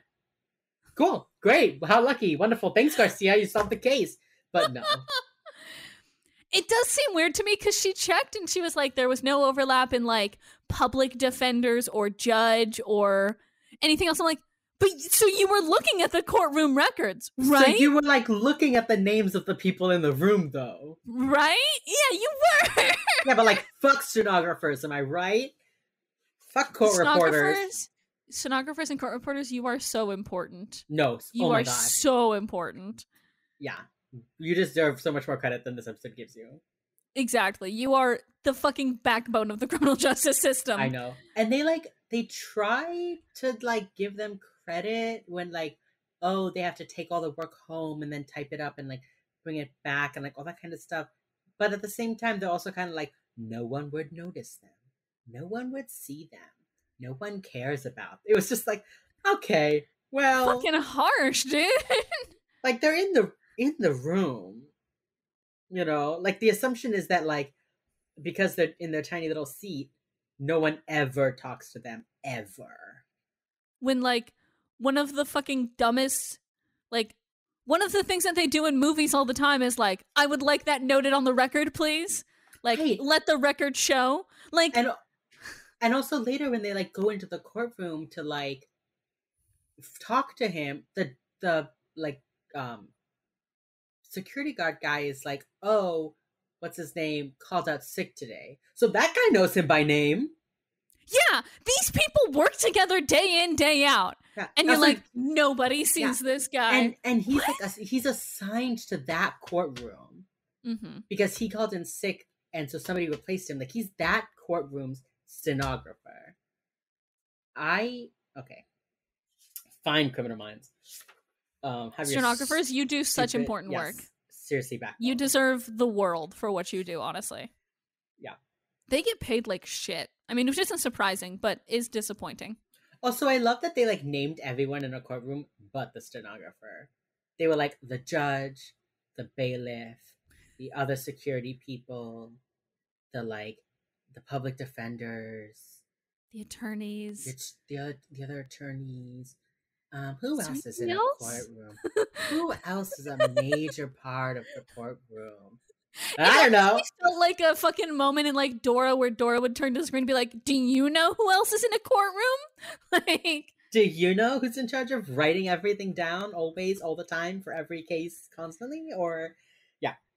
Um, okay, so then Derek goes to give them the news, and he like remembers the exact number of cases, which I think is so cute because was, it, like, cuts from cute. Penelope saying it and Derek being like, "Oh yeah, okay," and then it cuts to Hotch asking, "Do you know how many cases?" And then Derek just parrots it again. parrots Yeah, it again. I Derek's love just it. like 122,198 a year. And not just like, oh, okay. okay, well, I mean, as long as you know, Yeah. like, um, yeah. So then um, they are like, okay, he's going to have like a history of um, erratic behavior. Oh, and then somebody said, instead of crime groupies, they say crime groupies. Like that. I think Crime sometimes it's, it's very funny when actors just like forget how to talk. Crime I groupies. think that's very funny. I love so it when stupid. actors just forget how to say words right. Um. Yep. So then Elle and Derek go to help JJ, and Hotch, Gideon, and Reid go to the courthouse. I love yeah, I was gonna say I love the fact that we started off this uh this episode by being like, this is a fucking nothing burger. We'll get through this quick, and then it's been an hour and forty five minutes now, and we're well, I like, mean, we did talk about Shrek and storytelling. that's true. We had a lot of other talks. All right. Hotch asks if Gideon would ever consider being a vigilante, and Gideon says no, because it'd be too much like being the unsub. And then they mentioned the boys in Iowa, which I did look up. I was like, oh, is that something that happened in the time? No, they mentioned it later. It's fake. Um, Gideon's trying to like talk to this woman who looks so like annoyed, and she's like, the cops already talked to me, and he's like, I'm gonna talk to you anyway. True New Yorker being annoyed at everything. I love New Yorkers in TV shows. So he says, okay, the guy would be quiet. He'd seem like he's seen too much. And then Hotch picks it up in a different room and says he's small, he's meticulous. Oh, excuse me. He had a personal brush with crime. He would support the vigilante, and if someone like mentions the vigilante, he'd like talk about them constantly. But he like won't bring him bring him up himself. Um, and he probably hasn't mentioned him in a while. And then the woman is like, that's most people in the building, dude. Like, we're all fucking tired of crime. It's part of the job. Yeah, and then we got back to the courthouse, the courtroom, and you're so right. I literally wrote zoom on painting, but I wrote it because I didn't I didn't get it. They they zoom on the painting now, but then they also do it again That's how Hotch Later- remembers. when Hotch like looks at the court stenographer and then he like follows the court Yeah. stenographer's like line of sight. Yeah, to the painting. again. And I made a note that the court stenographer is in the room during this scene. Oh, is Um, he? Yeah, he's in the background packing up his stuff. Huh. Yeah, because I, I was like, I was like, they're not gonna be good about that twice in a row. and they oh, were. but they will. Maybe I need to give Criminal Minds just a smidge more credit. Not that much. No, literally a just a smidge. Yeah. Oh, and then the guy is like, "How old are you?" To Reid, and Reid says twenty-four. Um, and the man is like, "In six years, you'll be considering doing what this guy is doing now," um, which is odd. And then Gideon is like, "Oh, Reid's only a year older than I am. yeah, brah." JJ's Sorry. my fucking age. Yes. I don't know why I just realized that. Why You this and I, episode is like, We are Reid and JJ. Think about that. oh Think about these children. God. When I realized she was fucking 27 in season one, I was like, oh no, my sweet, sweet summer child. Like, everyone talks about Reid being baby, but like, hello? Reid's 24. Sorry, that just like really hit me that Reid is the same age as me or a year older than I am. Like, that feels insane to me. Yeah, these are children. Like, it's it's so funny. I feel like when you're younger, you know, when you're like 20 or, you know, 15, like when you're younger, you hear 24 and you're like, that's an adult. You hear 27 and you're like, that's a grown ass woman. But like, then you get to be 24 and then you get to be 27 and you're like, no. No, I, I don't mean, like- think I'm Like, like, like, yes, I do think I'm older and more experienced, more mature than a 20 year old. But like, no, I'm barely more than a quarter of my life through. Like, it's like not as old as you think it is. that's fucking insane. Yeah. Like, Sorry, I don't know why. I don't know why Yeah. Reid just saying I'm 24 really like hit me, but I'm like, damn, Yeah. he said he's that, and I was only like, a year older than I am. He said that- wow. he said that, and I was like, God, that's like out of my dating range. I wouldn't date a 24 year old. They're so young. so when he said that, I literally was like, oh God, Oh like- God. why am I three years older than Spencer Reid in this episode? Just like that so fucking much. Um, yeah, okay. Oh my God, I'm gonna grow up with Reid. No, I hate this. Actually, stop. I don't like this anymore. Oh, I like that. Okay, I'll grow up with JJ. I don't like this anymore. We'll grow up it just with reminded them me how many fucking years we're gonna be doing this podcast. in 15 years when I'm 40 fucking two. And you're what, 38? Oh, Christ on a cracker. Mm-hmm. God. What the fuck? when I like wrote down at the top of my notes 117, I was like, we're make we're moving and shaking. And then I realized we've been doing this for like Six months. six months. Yeah. And we've made it halfway through season one. We're almost done with season one, to be fair. Aren't there like 23 episodes? Don't we have like six there's episodes? 22 episodes. Like, So five we episodes left of season one. Yeah, we only have five episodes left. Can we go back to the episode now? You did this. You had a mental breakdown. I'm sorry. you sorry, just I'm really kind sorry. of hit me how we don't call them Reed mental is. breakdowns anymore. Um, No, alright. that one for me, that was a break. That was a mental breakdown for it's me. just a mini little toe dip and a panic attack. I was just hit with a with just like a wave of acknowledgement. Yeah. And that was bad. Continue. Okay. Gideon is just standing in the lobby reading the paper, You know, as you do. and reads like what happened in Iowa. And Hotch, I wrote it's an early Hotch case. Early in his career at the AU, it was a small town. Two boys were murdered by the local 4-H leader, and when they found him, he was like suicidal. He had his gun drawn, and he was like holding a shotgun to Hotch. And Hotch talked him down. He went to trial, um, but then his wife gave him an alibi, and he got off. And then he ended up killing another boy. I didn't realize just how the similarities to how this episode ends. Yeah. Hotch and Gideon talking him down. I all that think that's why, and rewatching this final scene, by the way, I do think that is why Hotch does shoot him. Instead of trying to keep talking him down. Yes, because he knew a jury wouldn't convict this guy. Mm, and he didn't want to have it again. hmm Okay, okay. Hallelujah's coming back angle- at me. The angle that he, the guy gets shot at is very much from the right, which is where Okay. Hotch was standing, and the the sniper angle would have been more down and from the left. okay, So interesting. yeah, And that's. I made a note about how at the end of the episode they're all just kind of like walking around, like staring at the ground, kind of being like, "This was a toughie." Well, Hallelujah played, and I was like, "Okay, okay, sure, uh, sure." sure, Aaron. Uh, yeah, and I wrote that the, in this scene, there's an implication that Hotch would want justice for those boys, like that Hotch could like blame himself for them getting, for that other Mhm. boy being killed, um, and that's why he's kind of like connecting a little bit with this vigilante because he like gets where he's coming from. yeah, I just like it just reminds me of Hotch's whole thing in Natural Born Killer, where he was like, some people with rough experiences grow up to be violent, and some people with rough experiences grow up to stop violence. yeah. You know, it's like one of those things. So I don't, I don't really like that they compare Hotch to this guy, or that Hotch is comparing himself to this guy. It's like so different. Yeah, Like, sure, like it's a similar, I guess, experience. But also, this guy's like a like I know we just said like court stenographers are the backbones of the criminal justice system, and I do believe that. But also, this this guy's not like a cop.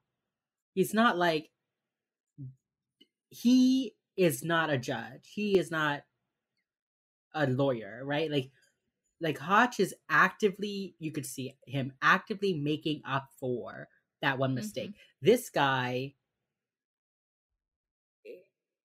is just like bitter and therefore killing people. You know, it, it's I don't and like that he's being compared. by the way, mentally ill. also definitely. yes, one hundred percent mentally ill. hearing voices and we get into it later like obsessive uh obsessive compulsive disorder Right. So I just like don't like that they're because it feels like by comparing Hotch to this killer, you're either a erasing the mentally ill aspect of this killer, being like he was just some guy who wanted Mhm. vengeance, or you're saying that Hotch is, you know, coded to be mentally ill in some way, which I don't think he is. it's a weird i don't know it's weird this episode i don't think this episode knew what it was trying to say i think it was trying to say a lot and ended up saying nothing aka nothing burger um but Yeah. like even just story wise the comparisons that they draw are really interesting especially with the boys in iowa yeah, like I, I like that's an interesting story to put in here and put a lot of emphasis on from gideon right. to put in the like law versus justice in this argument of what happened to the boys from iowa you know Yeah, and I, I also just don't think that like I'm trying to think how to phrase this. Like Hotch is already righting wrongs. And I don't mean this in like a propaganda kind of way. I just mean like, you know, he has chosen a career and a path that will save more people than he hurts. And this guy is somebody with a mental illness who mm-hmm. had something tragic happen and now cannot stop seeing himself reflected in the victims and is unable to stop his violent urges. yeah It's not comparable. Like, sure, Hotch had a case where, like, maybe he could have done it, but also, like, also, like, here we go, here we go. Here's a thought. Um, Hotch did the right thing. Like, it is not Hotch's fault that the jury didn't convict that guy. Yeah, and this is where it gets like really weird that they bring this specific case up during a d- larger discussion about law versus justice. Yes. Because Hotch did the correct thing, which was to turn him into the court system because they thought he had a great, they had obviously enough to get him. He was already depressed, dep- depressed and suicidal. Like this guy knew that he had done the murders and that he got caught. Yeah. And then curveball, guy's wife popped up for him.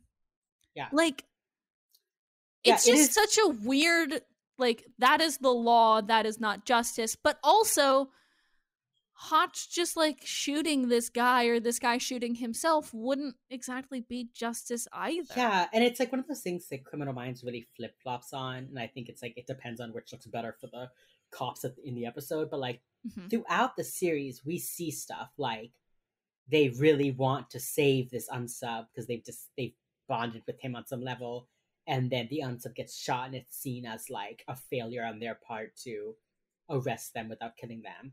But then some episodes, it's like, thank God that guy's dead. Now he's gonna stop hurting people, you know. And it's like the show itself does not have Yeah. a stance on it. And I actually, I, I made a note to talk about this later about like death as justice, where like cops are not there for justice. Cops are there to bring people who have done th- bad things to the place where they are judged and tried for it. I would even Like- expand it more than that. Cops aren't there for justice. They're there to uphold the law in whatever way that they deem fit. Yes, Which sure, yes. Also, the law is not perfect and justice isn't perfect. yeah. Um, so it really Yeah. And I for just for the sake of this conversation, I'm ignoring the like quotas for parking tickets kind of shit, you know. Yeah. Um in ter- but in terms of like, you know, yeah, capital crimes, violent crimes, like sh- killing someone should be your last resort. Absolute last resort, Mhm. right? There's a reason capital punishment, the death penalty is gone in almost every state, right?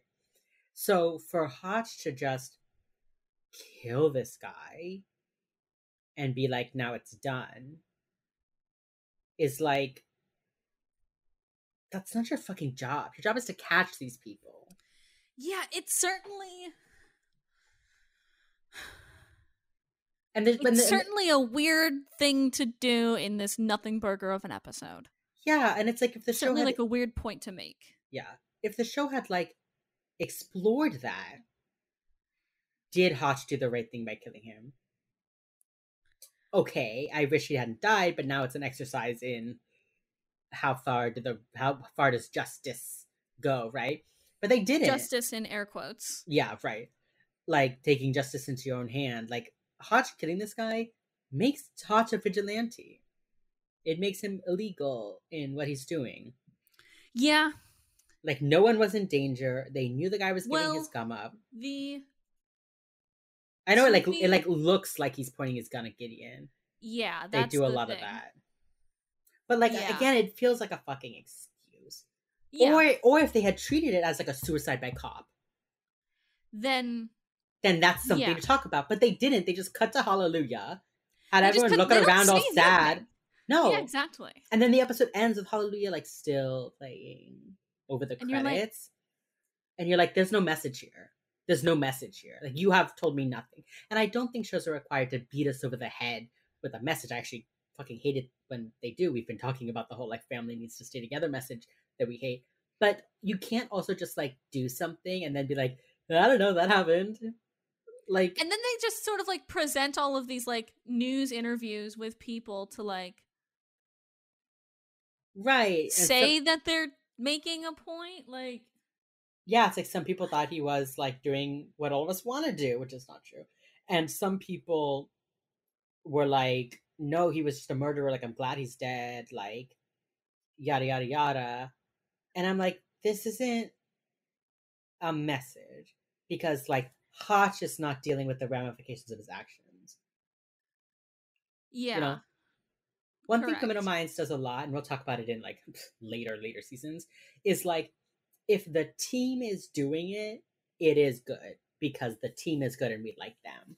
You know, like there are things the team does that they happened, and I literally was like, this is so illegal.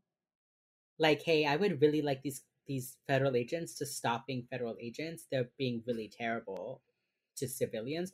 But because we like these characters, we're supposed to be like they're in the right. And then anytime anyone criticizes them, they're the villain, you know? Yeah. And this feels this feels like they were heading in that direction, but they didn't want to deal with it yet because it's season one. So they just Yeah. like didn't. They like told the story they were gonna tell, and then we're like, okay, we'll just like put some questions at the end, right? Like, Anyway, like make your own decision. Yeah. Choose what you get from this episode. yeah. Sometimes, like when things are all fun and games, it's like, yeah, it's just a bunch of cool people who happen to be, you know, fancy cops, and then like sometimes you're just kind of like slammed with that, you know? Yeah, and it's just like Yeah. anyway. Anyway, they're like, okay, this newspaper, back to the article. We learn about Iowa, implication Hotch would want justice. Um, and then they are looking at this new pro vigilante article and they have a lot of access. And JJ's like, I'm going to go talk to him. So he goes, she goes to the journalist and he's like, the FBI is getting you to do their bidding. And she's like, I'm an FBI agent. Like, he's really disrespectful to her. And I love that we get this is one of the earlier moments where JJ's like, "No, I'm a fucking agent. Yeah. I'm just he- good at this part of the job." he's like trying to treat her like their pet reporter, you Yeah. know? And she's like, I'm a fucking FBI agent, dude. And then she like here's the thing too is when she tells him that and they get to his desk, she like spots some like fucking file folder with a weird ass name and he's like, "Oh, don't don't mind that. Don't mind that. Don't worry about it."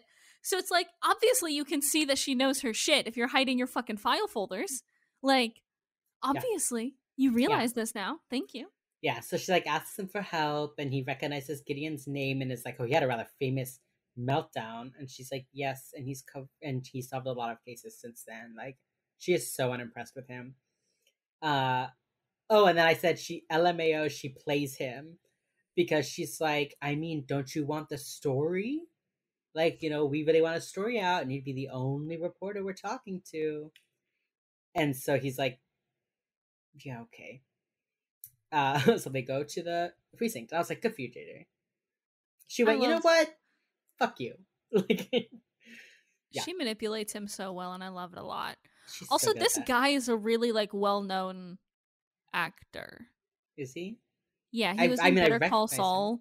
Um, he was also in Quantico. Well, He's had a lot of shows that he's been. He was in Shameless. oh It's Professor Hearst in Shameless. I don't know what that if that means anything to you. Um, no, I definitely like recognized him, but I couldn't like place him. Yeah, he's one of those actors that has been on every single crime procedural at least Yeah. once or twice, and so you're like, "Hey, I know you," and then you can't. F- you Yeah. don't know what you know him from. Yeah. Yeah, exactly. Um, so they're talking He's about. good though. He plays a good fucking sleaze. Oh yeah, oh yeah. Um, so then, oh, he's the one who says the drunk driver could happen to anybody. Ugh. Um, he calls Oof. Rachel a waste case. Yeah. which I was like, one, what 2006 lingo? And two, hey, dude, fuck you. That's a whole ass person. That's a whole ass human being. Yeah, it was really like, even if you don't consider addiction a disease, which like it is, that I don't like this assumption of like, because you do drugs, you are less than, you know? Yeah. And he says like the jury bought into that like addiction as a disease BS or whatever. And it's like, hey gang, you could have been like, well it is, but let's move on. But no, Yeah. Gideon and Hotch say nothing. Um, and then the taxi guy. Oh, th- this reporter Wagner covered all of the original cases. Mm-hmm. That's why he like put it all together because he knew the cases already. Um, and the taxi driver he says was a thug, and his wife wouldn't testify against him, which again is very victim blaming language. Not Mhm. his wife was too scared. Not he intimidated his wife out of testifying. No, his wife wouldn't testify. I think this guy's just a dick. Yeah.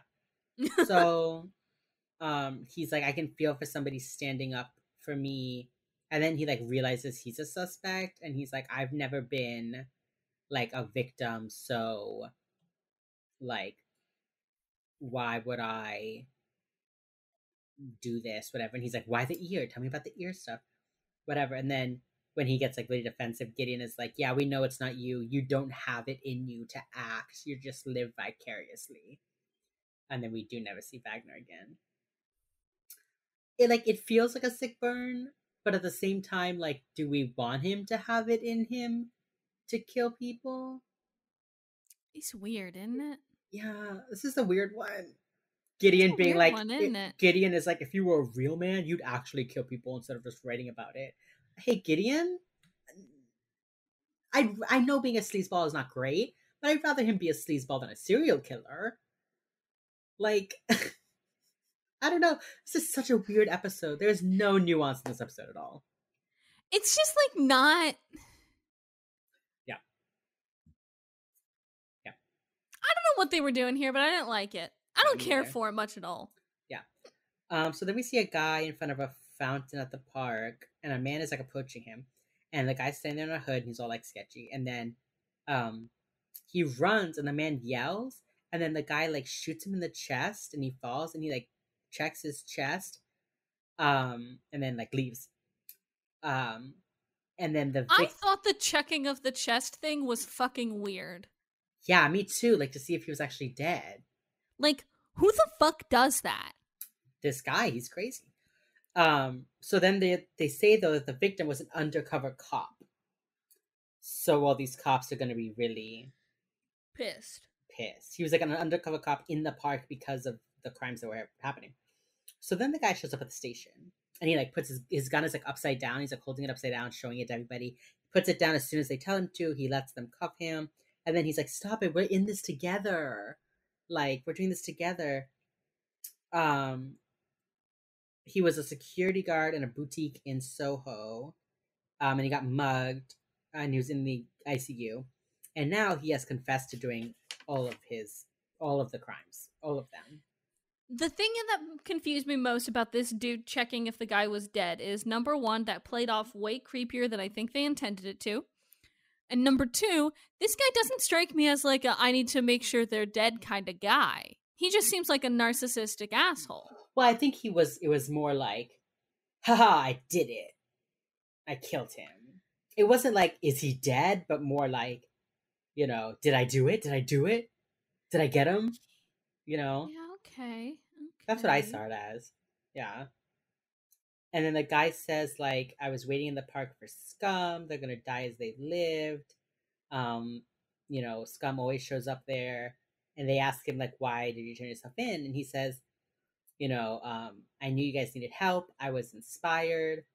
I um wait, no, Gideon says, like, why did you turn yourself in? Do you need help? Like I think he's like saying like, did you need to like hear Oh, the guy says you needed to hear my voice. I want to inspire people. I can't do this alone. I need more people to join me. And he like barely knows anything about the crimes. Sorry, I just like did not know what that note meant. Um Gideon is like, Oh, is that why you stabbed him in the groin? Like you stabbed those other ones in the groin. And the man says it's what he deserved. So now we know like this isn't him Yeah, this, this no guy one was stabbed in the groin. Yeah, he was just taking credit for it because he was also like delusional. Um, and then Derek is like, yeah, he just wants glory. Um, he has um narcissistic delusions, and the only one that he killed was the undercover cop. Uh, and then Reid says that like they should tell the unsub that he inspired someone to kill an undercover cop. Like that's gonna make him feel really guilty. And JJ is like, I need to go mend some fences. She's like, I guess I'll go play fucking nice now. I do love that they did not show her having to apologize to Wagner. Yeah, So she goes I back. Yeah, and there's a That's what funeral. she deserves. yeah, they're watching the like policeman's funeral on TV, and Tonya Pinkins is like, "I'll never get that sound out of my head," um, and that's why they're like, "Hey, wait a minute, the sound in the head you can't get out." Uh, yep. Uh, Wagner says the blood is on the vigilante's hands, um, and they're like, if he's at the funeral, he's gonna look alone. He's gonna look out of place, um, trying not to draw attention to himself. Uh, that comes of nothing. the only reason we saw the funeral was so they could make the connection to like the voice that's stuck in your head. So Derek had gone down to the courthouse and he calls Hotch and he's like, there's like, um, he, the victim's stenography records have not even been typed up. Those things usually don't get typed up for three to five months because the stenographers like take them home to type them. So like if someone knew about the last victim's crime records, he would have had to have been in the courtroom. And so they say it must be a court reporter because they transcribed testimony, so he would have those voices in his head. And they're like, oh, that woman's a piano motion, but it's actually a transcribing motion. Yeah, and the motion that he was making was sort of like he was typing. Um, if you guys haven't seen a steno machine, they're actually like really neat. Um, yeah. they're made they're made so they're like you type out vowel sounds, not letters, and so it's much quicker to type out an accurate record of what was said. But uh, as I make mention of later this episode, only you hear words the way that you hear words. So, like, court stenographer's notes can only be transcribed by that court stenographer because nobody else would know what the yeah. fuck those that combination means. Like, it's so hard to hear just like vowels stated and be like, ah, so this is baloney. The word is baloney. Right. When you're like, bow, og, na, what? Yeah. And you know, so um court stenography, super fascinating field. Yeah. Highly recommend y'all look yeah. into it. It's very fun. It's really interesting. I wrote down that it reminded me of shorthand. Like we say shorthand to mean like writing shorter versions of words, but shorthand is an actual language. It's an alphabet. Um, secretaries, yeah. the reason, well, you know, receptionists, but secretaries when they were secretaries, the reason they had to go to like secretarial school was because like they literally had to learn like a whole other language. So if you look at like a uh, secretary's notes, they looks like hieroglyphs the same way the stenographers do because it's yeah. just like squiggles the same way like medical doctors handwriting looks illegible but it's actually like a specific alphabet they use yeah. you know so i thought that was really cool that i didn't know stenographers had the same it makes sense but that fast you type um yeah because they have to type so quickly yeah in court yeah like, and, and the same way secretaries have to take notes so fast when they have things being shouted at them and like doctors are always in a hurry. They've got to do shorthand for these pharmaceutical words, you know, all that kind of stuff. Um, yeah. I just that's so neat. Yeah, so they infer that the voices were the voices of the victims. He's hearing the testimony in his head. They ask Garcia to look for the stenographers' names. This is Marvin Doyle.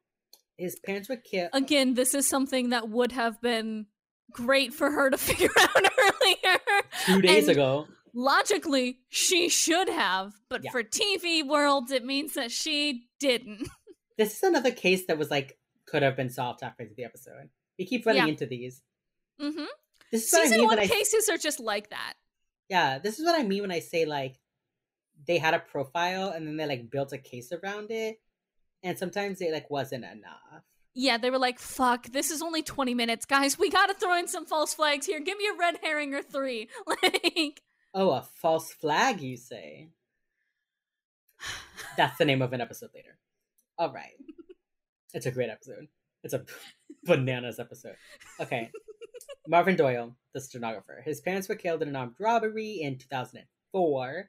He works at Manhattan Criminal Courthouse Center, whatever. Um, he's sick, and there's another. Um, was wait, Hotch and Reid go to his courthouse courtroom mm-hmm. and he's sick, so he, he called out sick.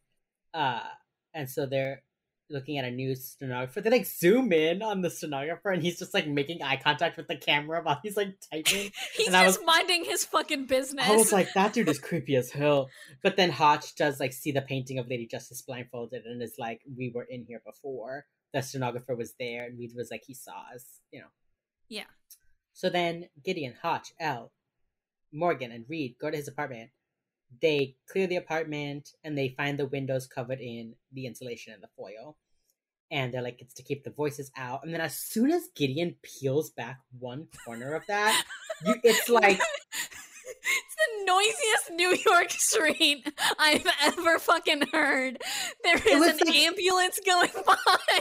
It's like every window in his apartment is covered, but as soon as Gideon folds back one corner, it's like there it is You know, the busiest street in New York. yeah, I was like, I like yes, let the sound in, but like, he's not living in a balloon. You didn't like pop his balloon. You know, like it was so weird. I think it's so funny. That was so such a weird um Foley effect.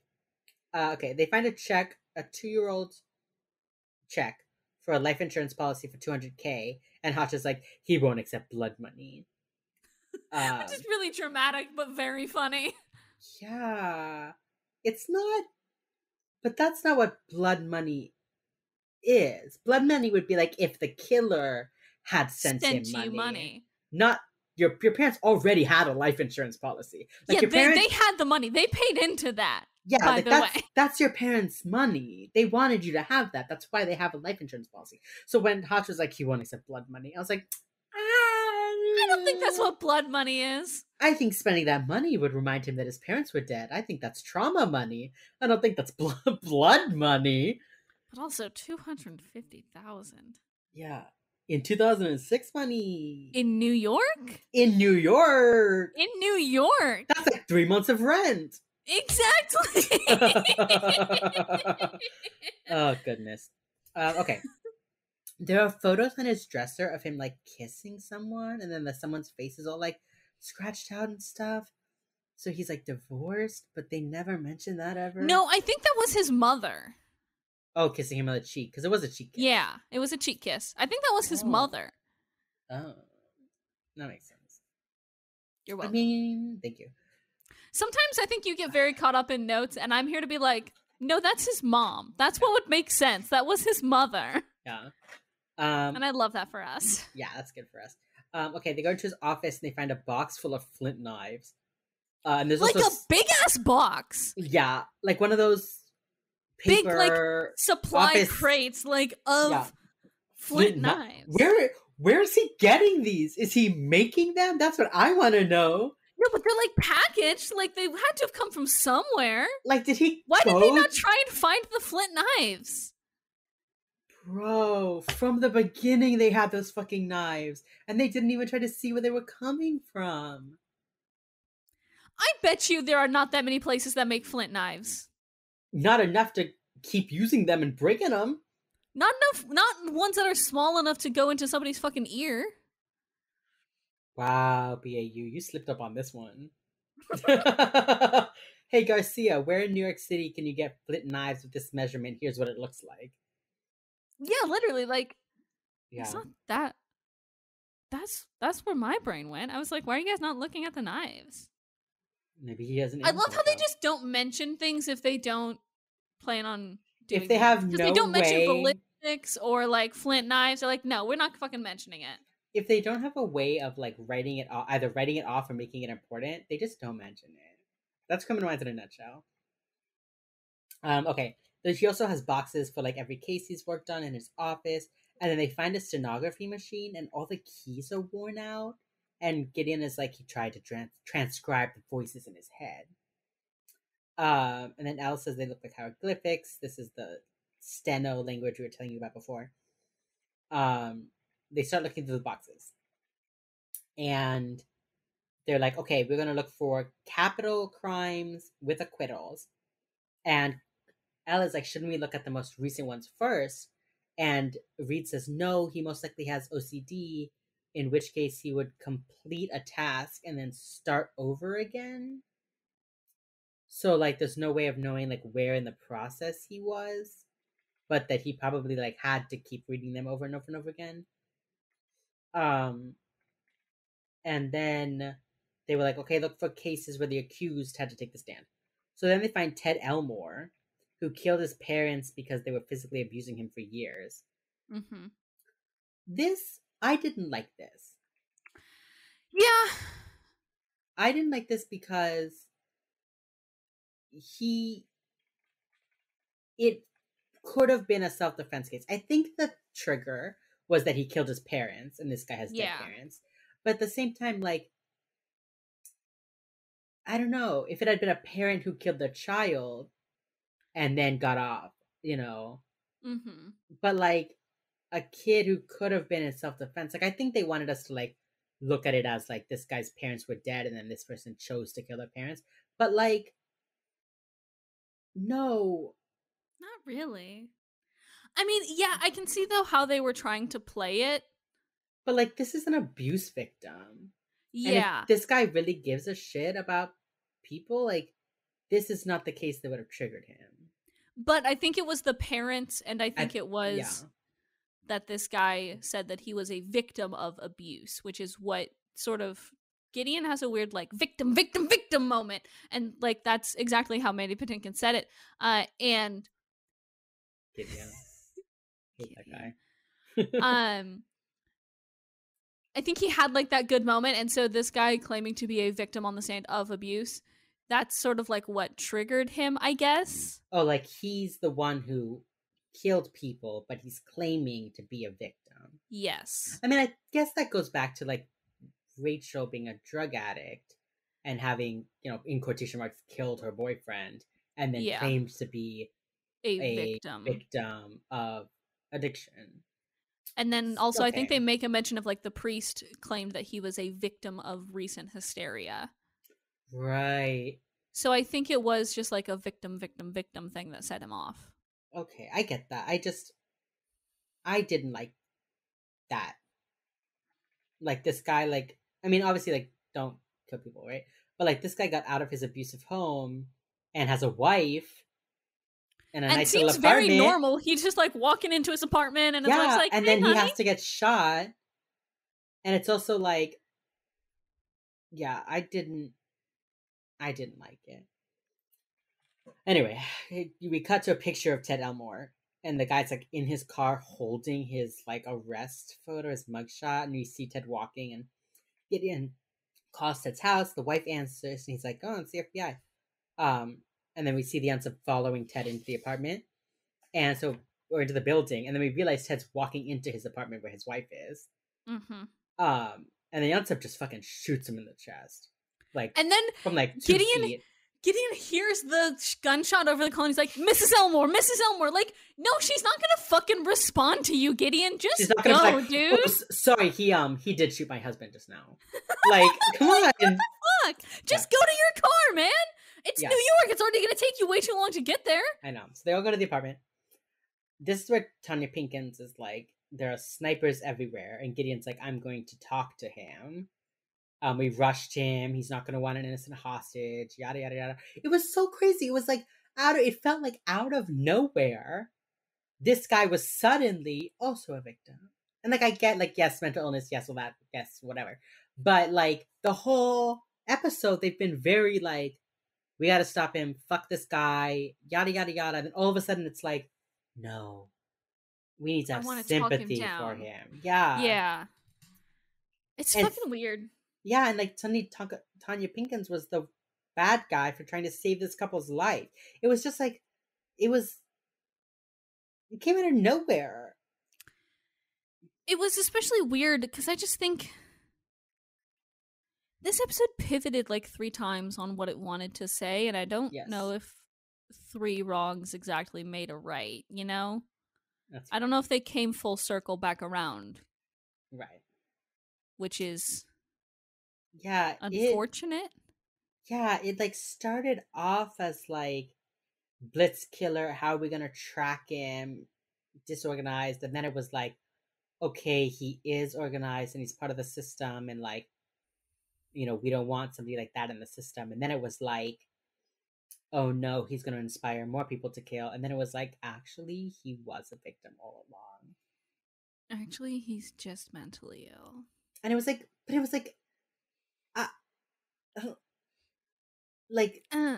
they i know like they acknowledge him being mentally ill and i'm glad that did elicit sympathy but like this much sympathy i i don't know i don't know like as a mentally ill person if i broke and started killing people like don't feel pity for me.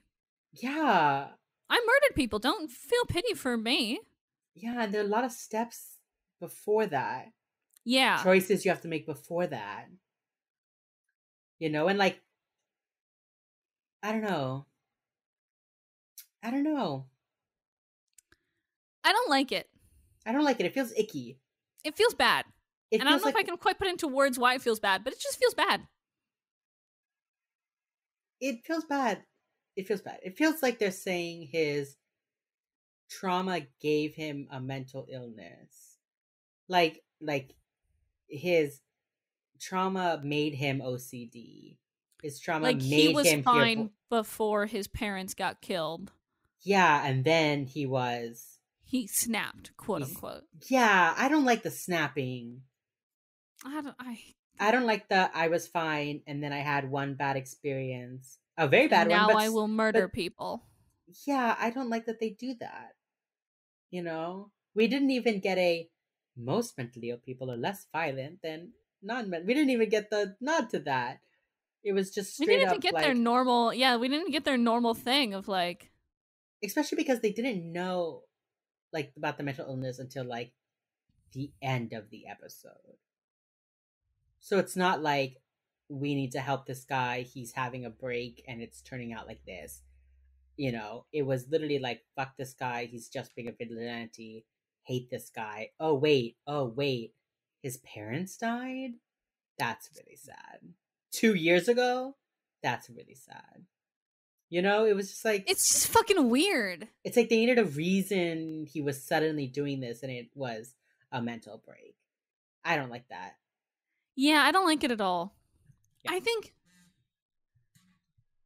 I think this case could have been really interesting. This killer could have been interesting in the way, especially with all the allusions to justice, they could have had a really good like law versus justice moment and instead they were like, "Mm, but what if he had a mental breakdown and then started murdering people?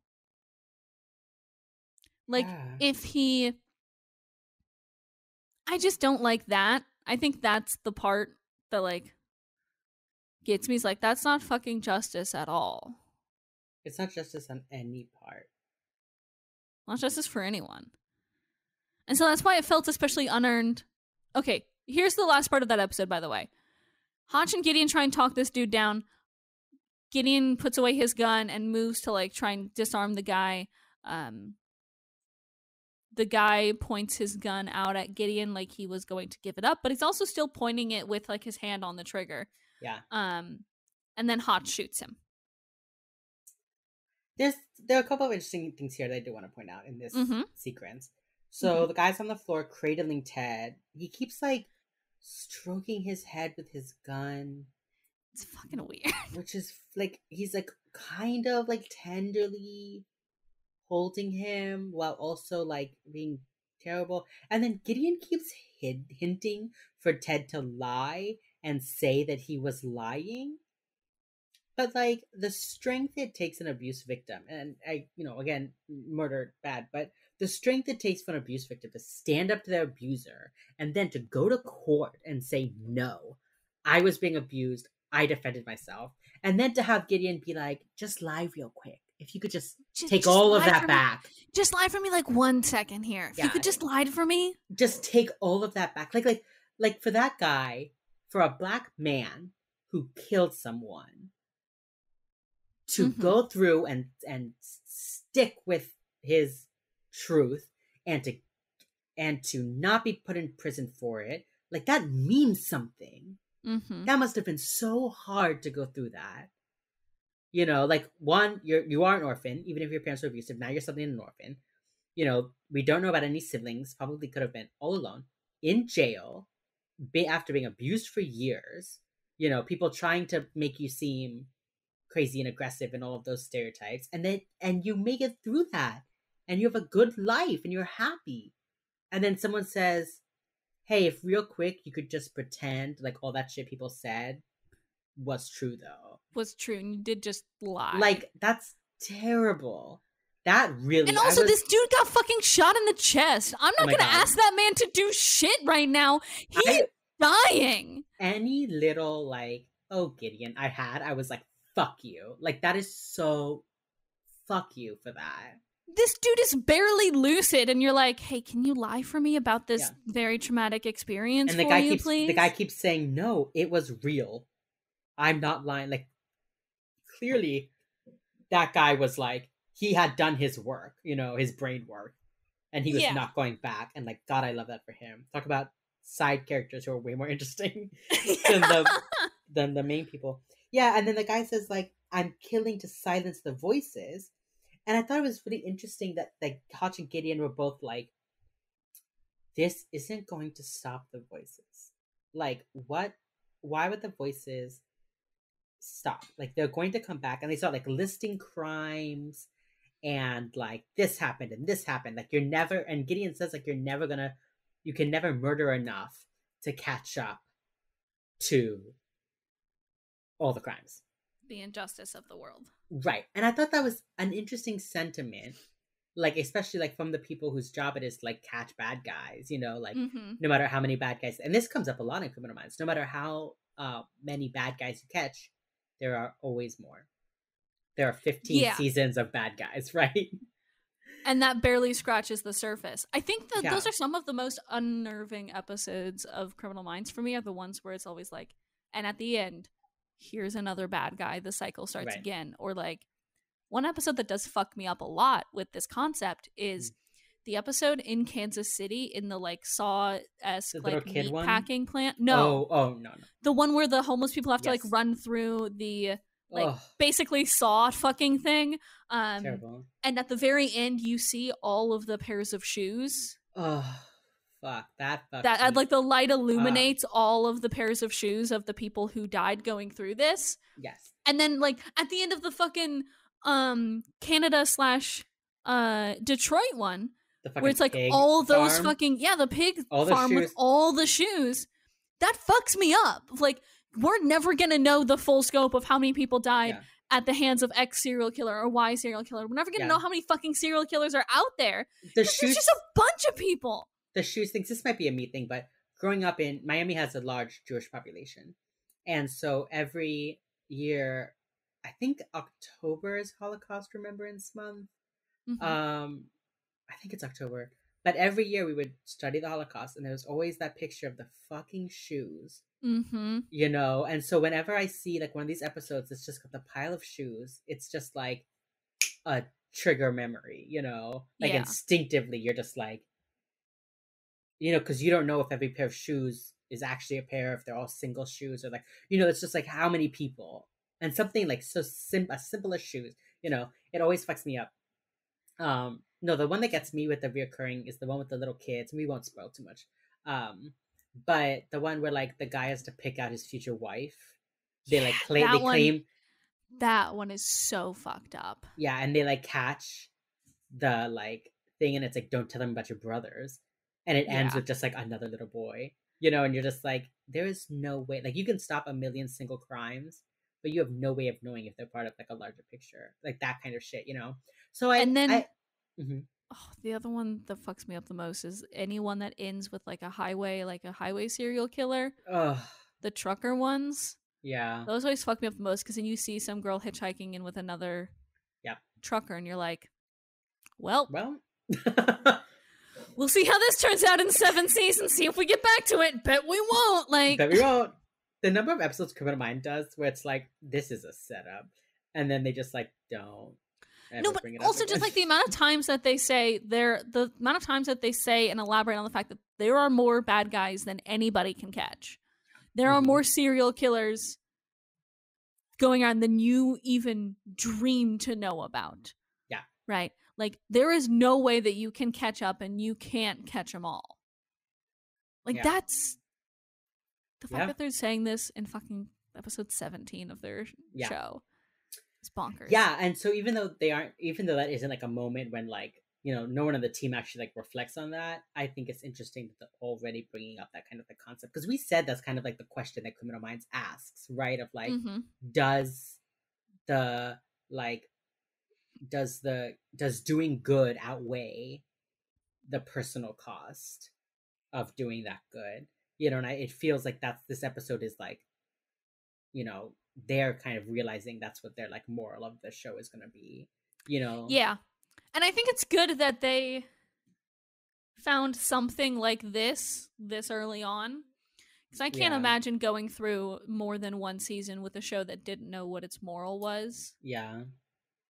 Yeah, I And I think, think- this is Yeah, this is where we start to see like Gideon and Hotch both being like I love this job, but like at what cost? My family, my mental health, my you know, in for some of them their physical health. Like like doing this job is unsustainable. And they've already been like hinting at it. And also like, okay, but for for a crime serial in season 1 to set up the idea that this job is unsustainable. W- wild. What other I show is doing that? I Like- just like I yeah, just the fact that they're literally like there will come a point when each one of us will break. You know? And, like they're right. And they fucking they set that promise up and they do it.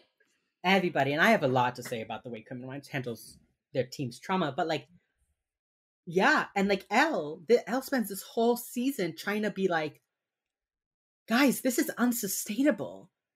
Like guys, like we're not going to be able to handle this. You know, they s- try to make the characters humans. Yeah. It feels less like here are some people that stand in for the larger police force, you know, and more like people are trying their best in a corrupt system, but also we Mhm. love the government, you know? Yeah. yeah, hit or miss sometimes. Um, all right. That's about it, isn't it? Then there's Hallelujah yeah, when the Todd shoots the guy. Spring. There's oh, and there there are two end quotes. There are. The I didn't write- duality of man. Yeah. Um, the duality of Gandhi is a terrible person. Um, I didn't write like the actual quotes, but Gideon's is basically like Gandhi said, "If you have violence in your heart, be violent. It's better to like live your truth than to be like peaceful and lie or something." And then Hotch says, Gandhi also said, and then that quote is like, "If you're like violent, you may end up doing more harm than good." So, Mhm. you know, make choices that are going to be the right choice and not just your own needs, essentially. Which I thought was interesting. Like, there's a tiny little contemplation about what the episode is about. Like, do we, are we, are we responsible for being authentic, even when that authenticity is going to hurt people and cause harm? Or do we need to put our community first and suppress certain aspects of ourselves for the sake of the greater good? Do I think this episode earned that question? No. Absolutely No. fucking not. It did not. Not by a long shot. It's a good question. This episode didn't it. earn it. It's not it. It's not it. I, I- don't Yeah. I don't like those ending quotes. I don't like either of them in relation to what the episode was about, which is that sort of question of law versus justice. And this just seems like a weird pivot.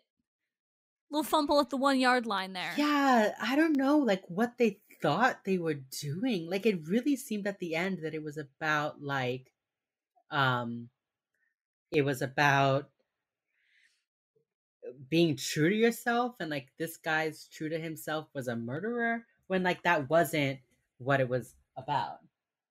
Yeah, I don't know. They just like the whole episode, you're right. It was about law versus justice is does does justice belong in the hands of the people or are laws always going to provide the correct justice that's kind of what the episode was about and then at the end it was like actually some of us express our emotions in violent ways and like that's fine because we're human it's like It's like, but ah. also consider violence. And then that was like it. They were like, Yeah. consider violence. I think, you know, I will say that, like, one thing that's really interesting about Criminal Minds is, like, for the most part, we end the episode with, like, this is the unsub. This is the guy who did it. And we're going to assume that once he's caught, he's gone forever.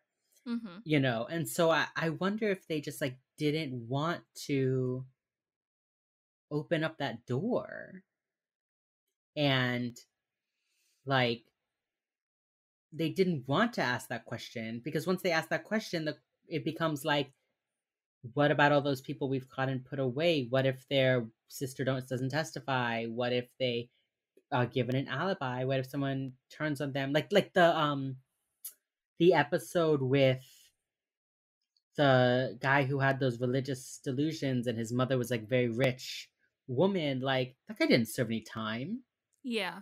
like we know that she was rich as hell and he could plead insanity like that guy didn't serve any time you know and i don't think the show wanted to kind of open that door to we are now going to have to justify the means of capture we are now going to have to prove that they went away for it you know? I also think it was weird that they ended this episode on those two quotes and then the the interviews with New Yorkers mm-hmm. because that to me also implied that this guy wasn't technically quote unquote gone for good because people believed in him and his message. yeah Hotch made him a martyr Hotch made him a martyr and like some of those New Yorkers were like, yeah, I mean, he was doing what everybody wishes they could do. Yeah. Yeah, I when Hotch killed him, I was like, uh, well, I thought the sniper killed him. But I was like, I thought the message was going to be the police killed the man who was doing their jobs for them. Yeah. Uh, but no, But it, that it was was, not- Hotch. that was not the message. It was Hotch. It was Hotch who was we're kind of led to believe not wanting this to become another Iowa, not letting He- him potentially yeah. get out and do more crimes. Yeah, which like, um, I don't know. I don't know. sure about that one, bud.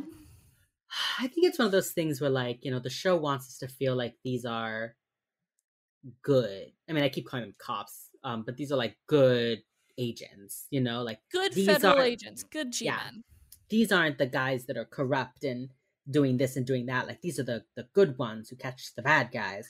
You know, and like, so when Hotch has a moment of honestly a moment of weakness where he Mhm. kills someone to ease his own conscience we have to trust that that was the right decision and it wasn't The show didn't end, didn't earn. This episode did not earn its no hallelujah ending song. it did not It didn't. It didn't earn what it had. man last episode was the fucking coldplay ending and This now we episode have is this Hallelujah. hallelujah I just this episode, Yeah. man. What the fuck? What the fuck? yeah i didn't okay let's rate it i give it a three Let's three. Okay, I'll go with you and give it a three. Um, they didn't say wheels up, did they? Imagine if they say it at the finale of season one. Imagine if that's the first time they say wheels up. Imagine. so I was rewatching season two this weekend and today, and Morgan does say "Wheels Up" in two twenty one. I hope that's not the first time. It cannot be the first time with the way he just threw it out there. Yeah. No, it wasn't two twenty one. It was two eighteen. He went. I don't know. I guess it's wheels up, and he just like went in and left. So that cannot be the first time they say it. So it has to happen before two eighteen. but it does not happen between two ten and two eighteen. So it happens between one seventeen and two ten. They do have to say wheels up at least once, unless that that throwaway like I don't know wheels up is the first time they fucking say it, which honestly is such a criminal minds thing to do. Nearly at the end of season two it would be the first time they say it. No, I can't. No, No, it's no, not. I believe in their ability to say it sometime before that. Yeah. That's all for this episode of Wheels Up, a Criminal Minds fancast. Next week, oh, we get to a good one. Next time on Wheels Up, we get to season one, episode 18 Somebody's Watching. Oh, which one's that one? Uh, stalker case in LA with Reid. Oh, oh. Yeah. Oh, yeah. I have so much to say. I have so much to say about that episode. Yep, that's that's that episode. I'm very excited for it. Jay is too. That will be next time on Wheels Up. Until then, please, if you would be so kind as to give us a review on Apple Podcasts, that does help us out a lot. You can also find us everywhere at Wheels Up Pod on social medias. Jay, give me an outro. Give me an intro. As as Penelope Garcia says, "Oh baby girl, just say no." I did. I didn't like this episode. I didn't like this episode either. She like, like found out. She found out Rachel was like a drug addict and went, "Oh baby girl, just say no."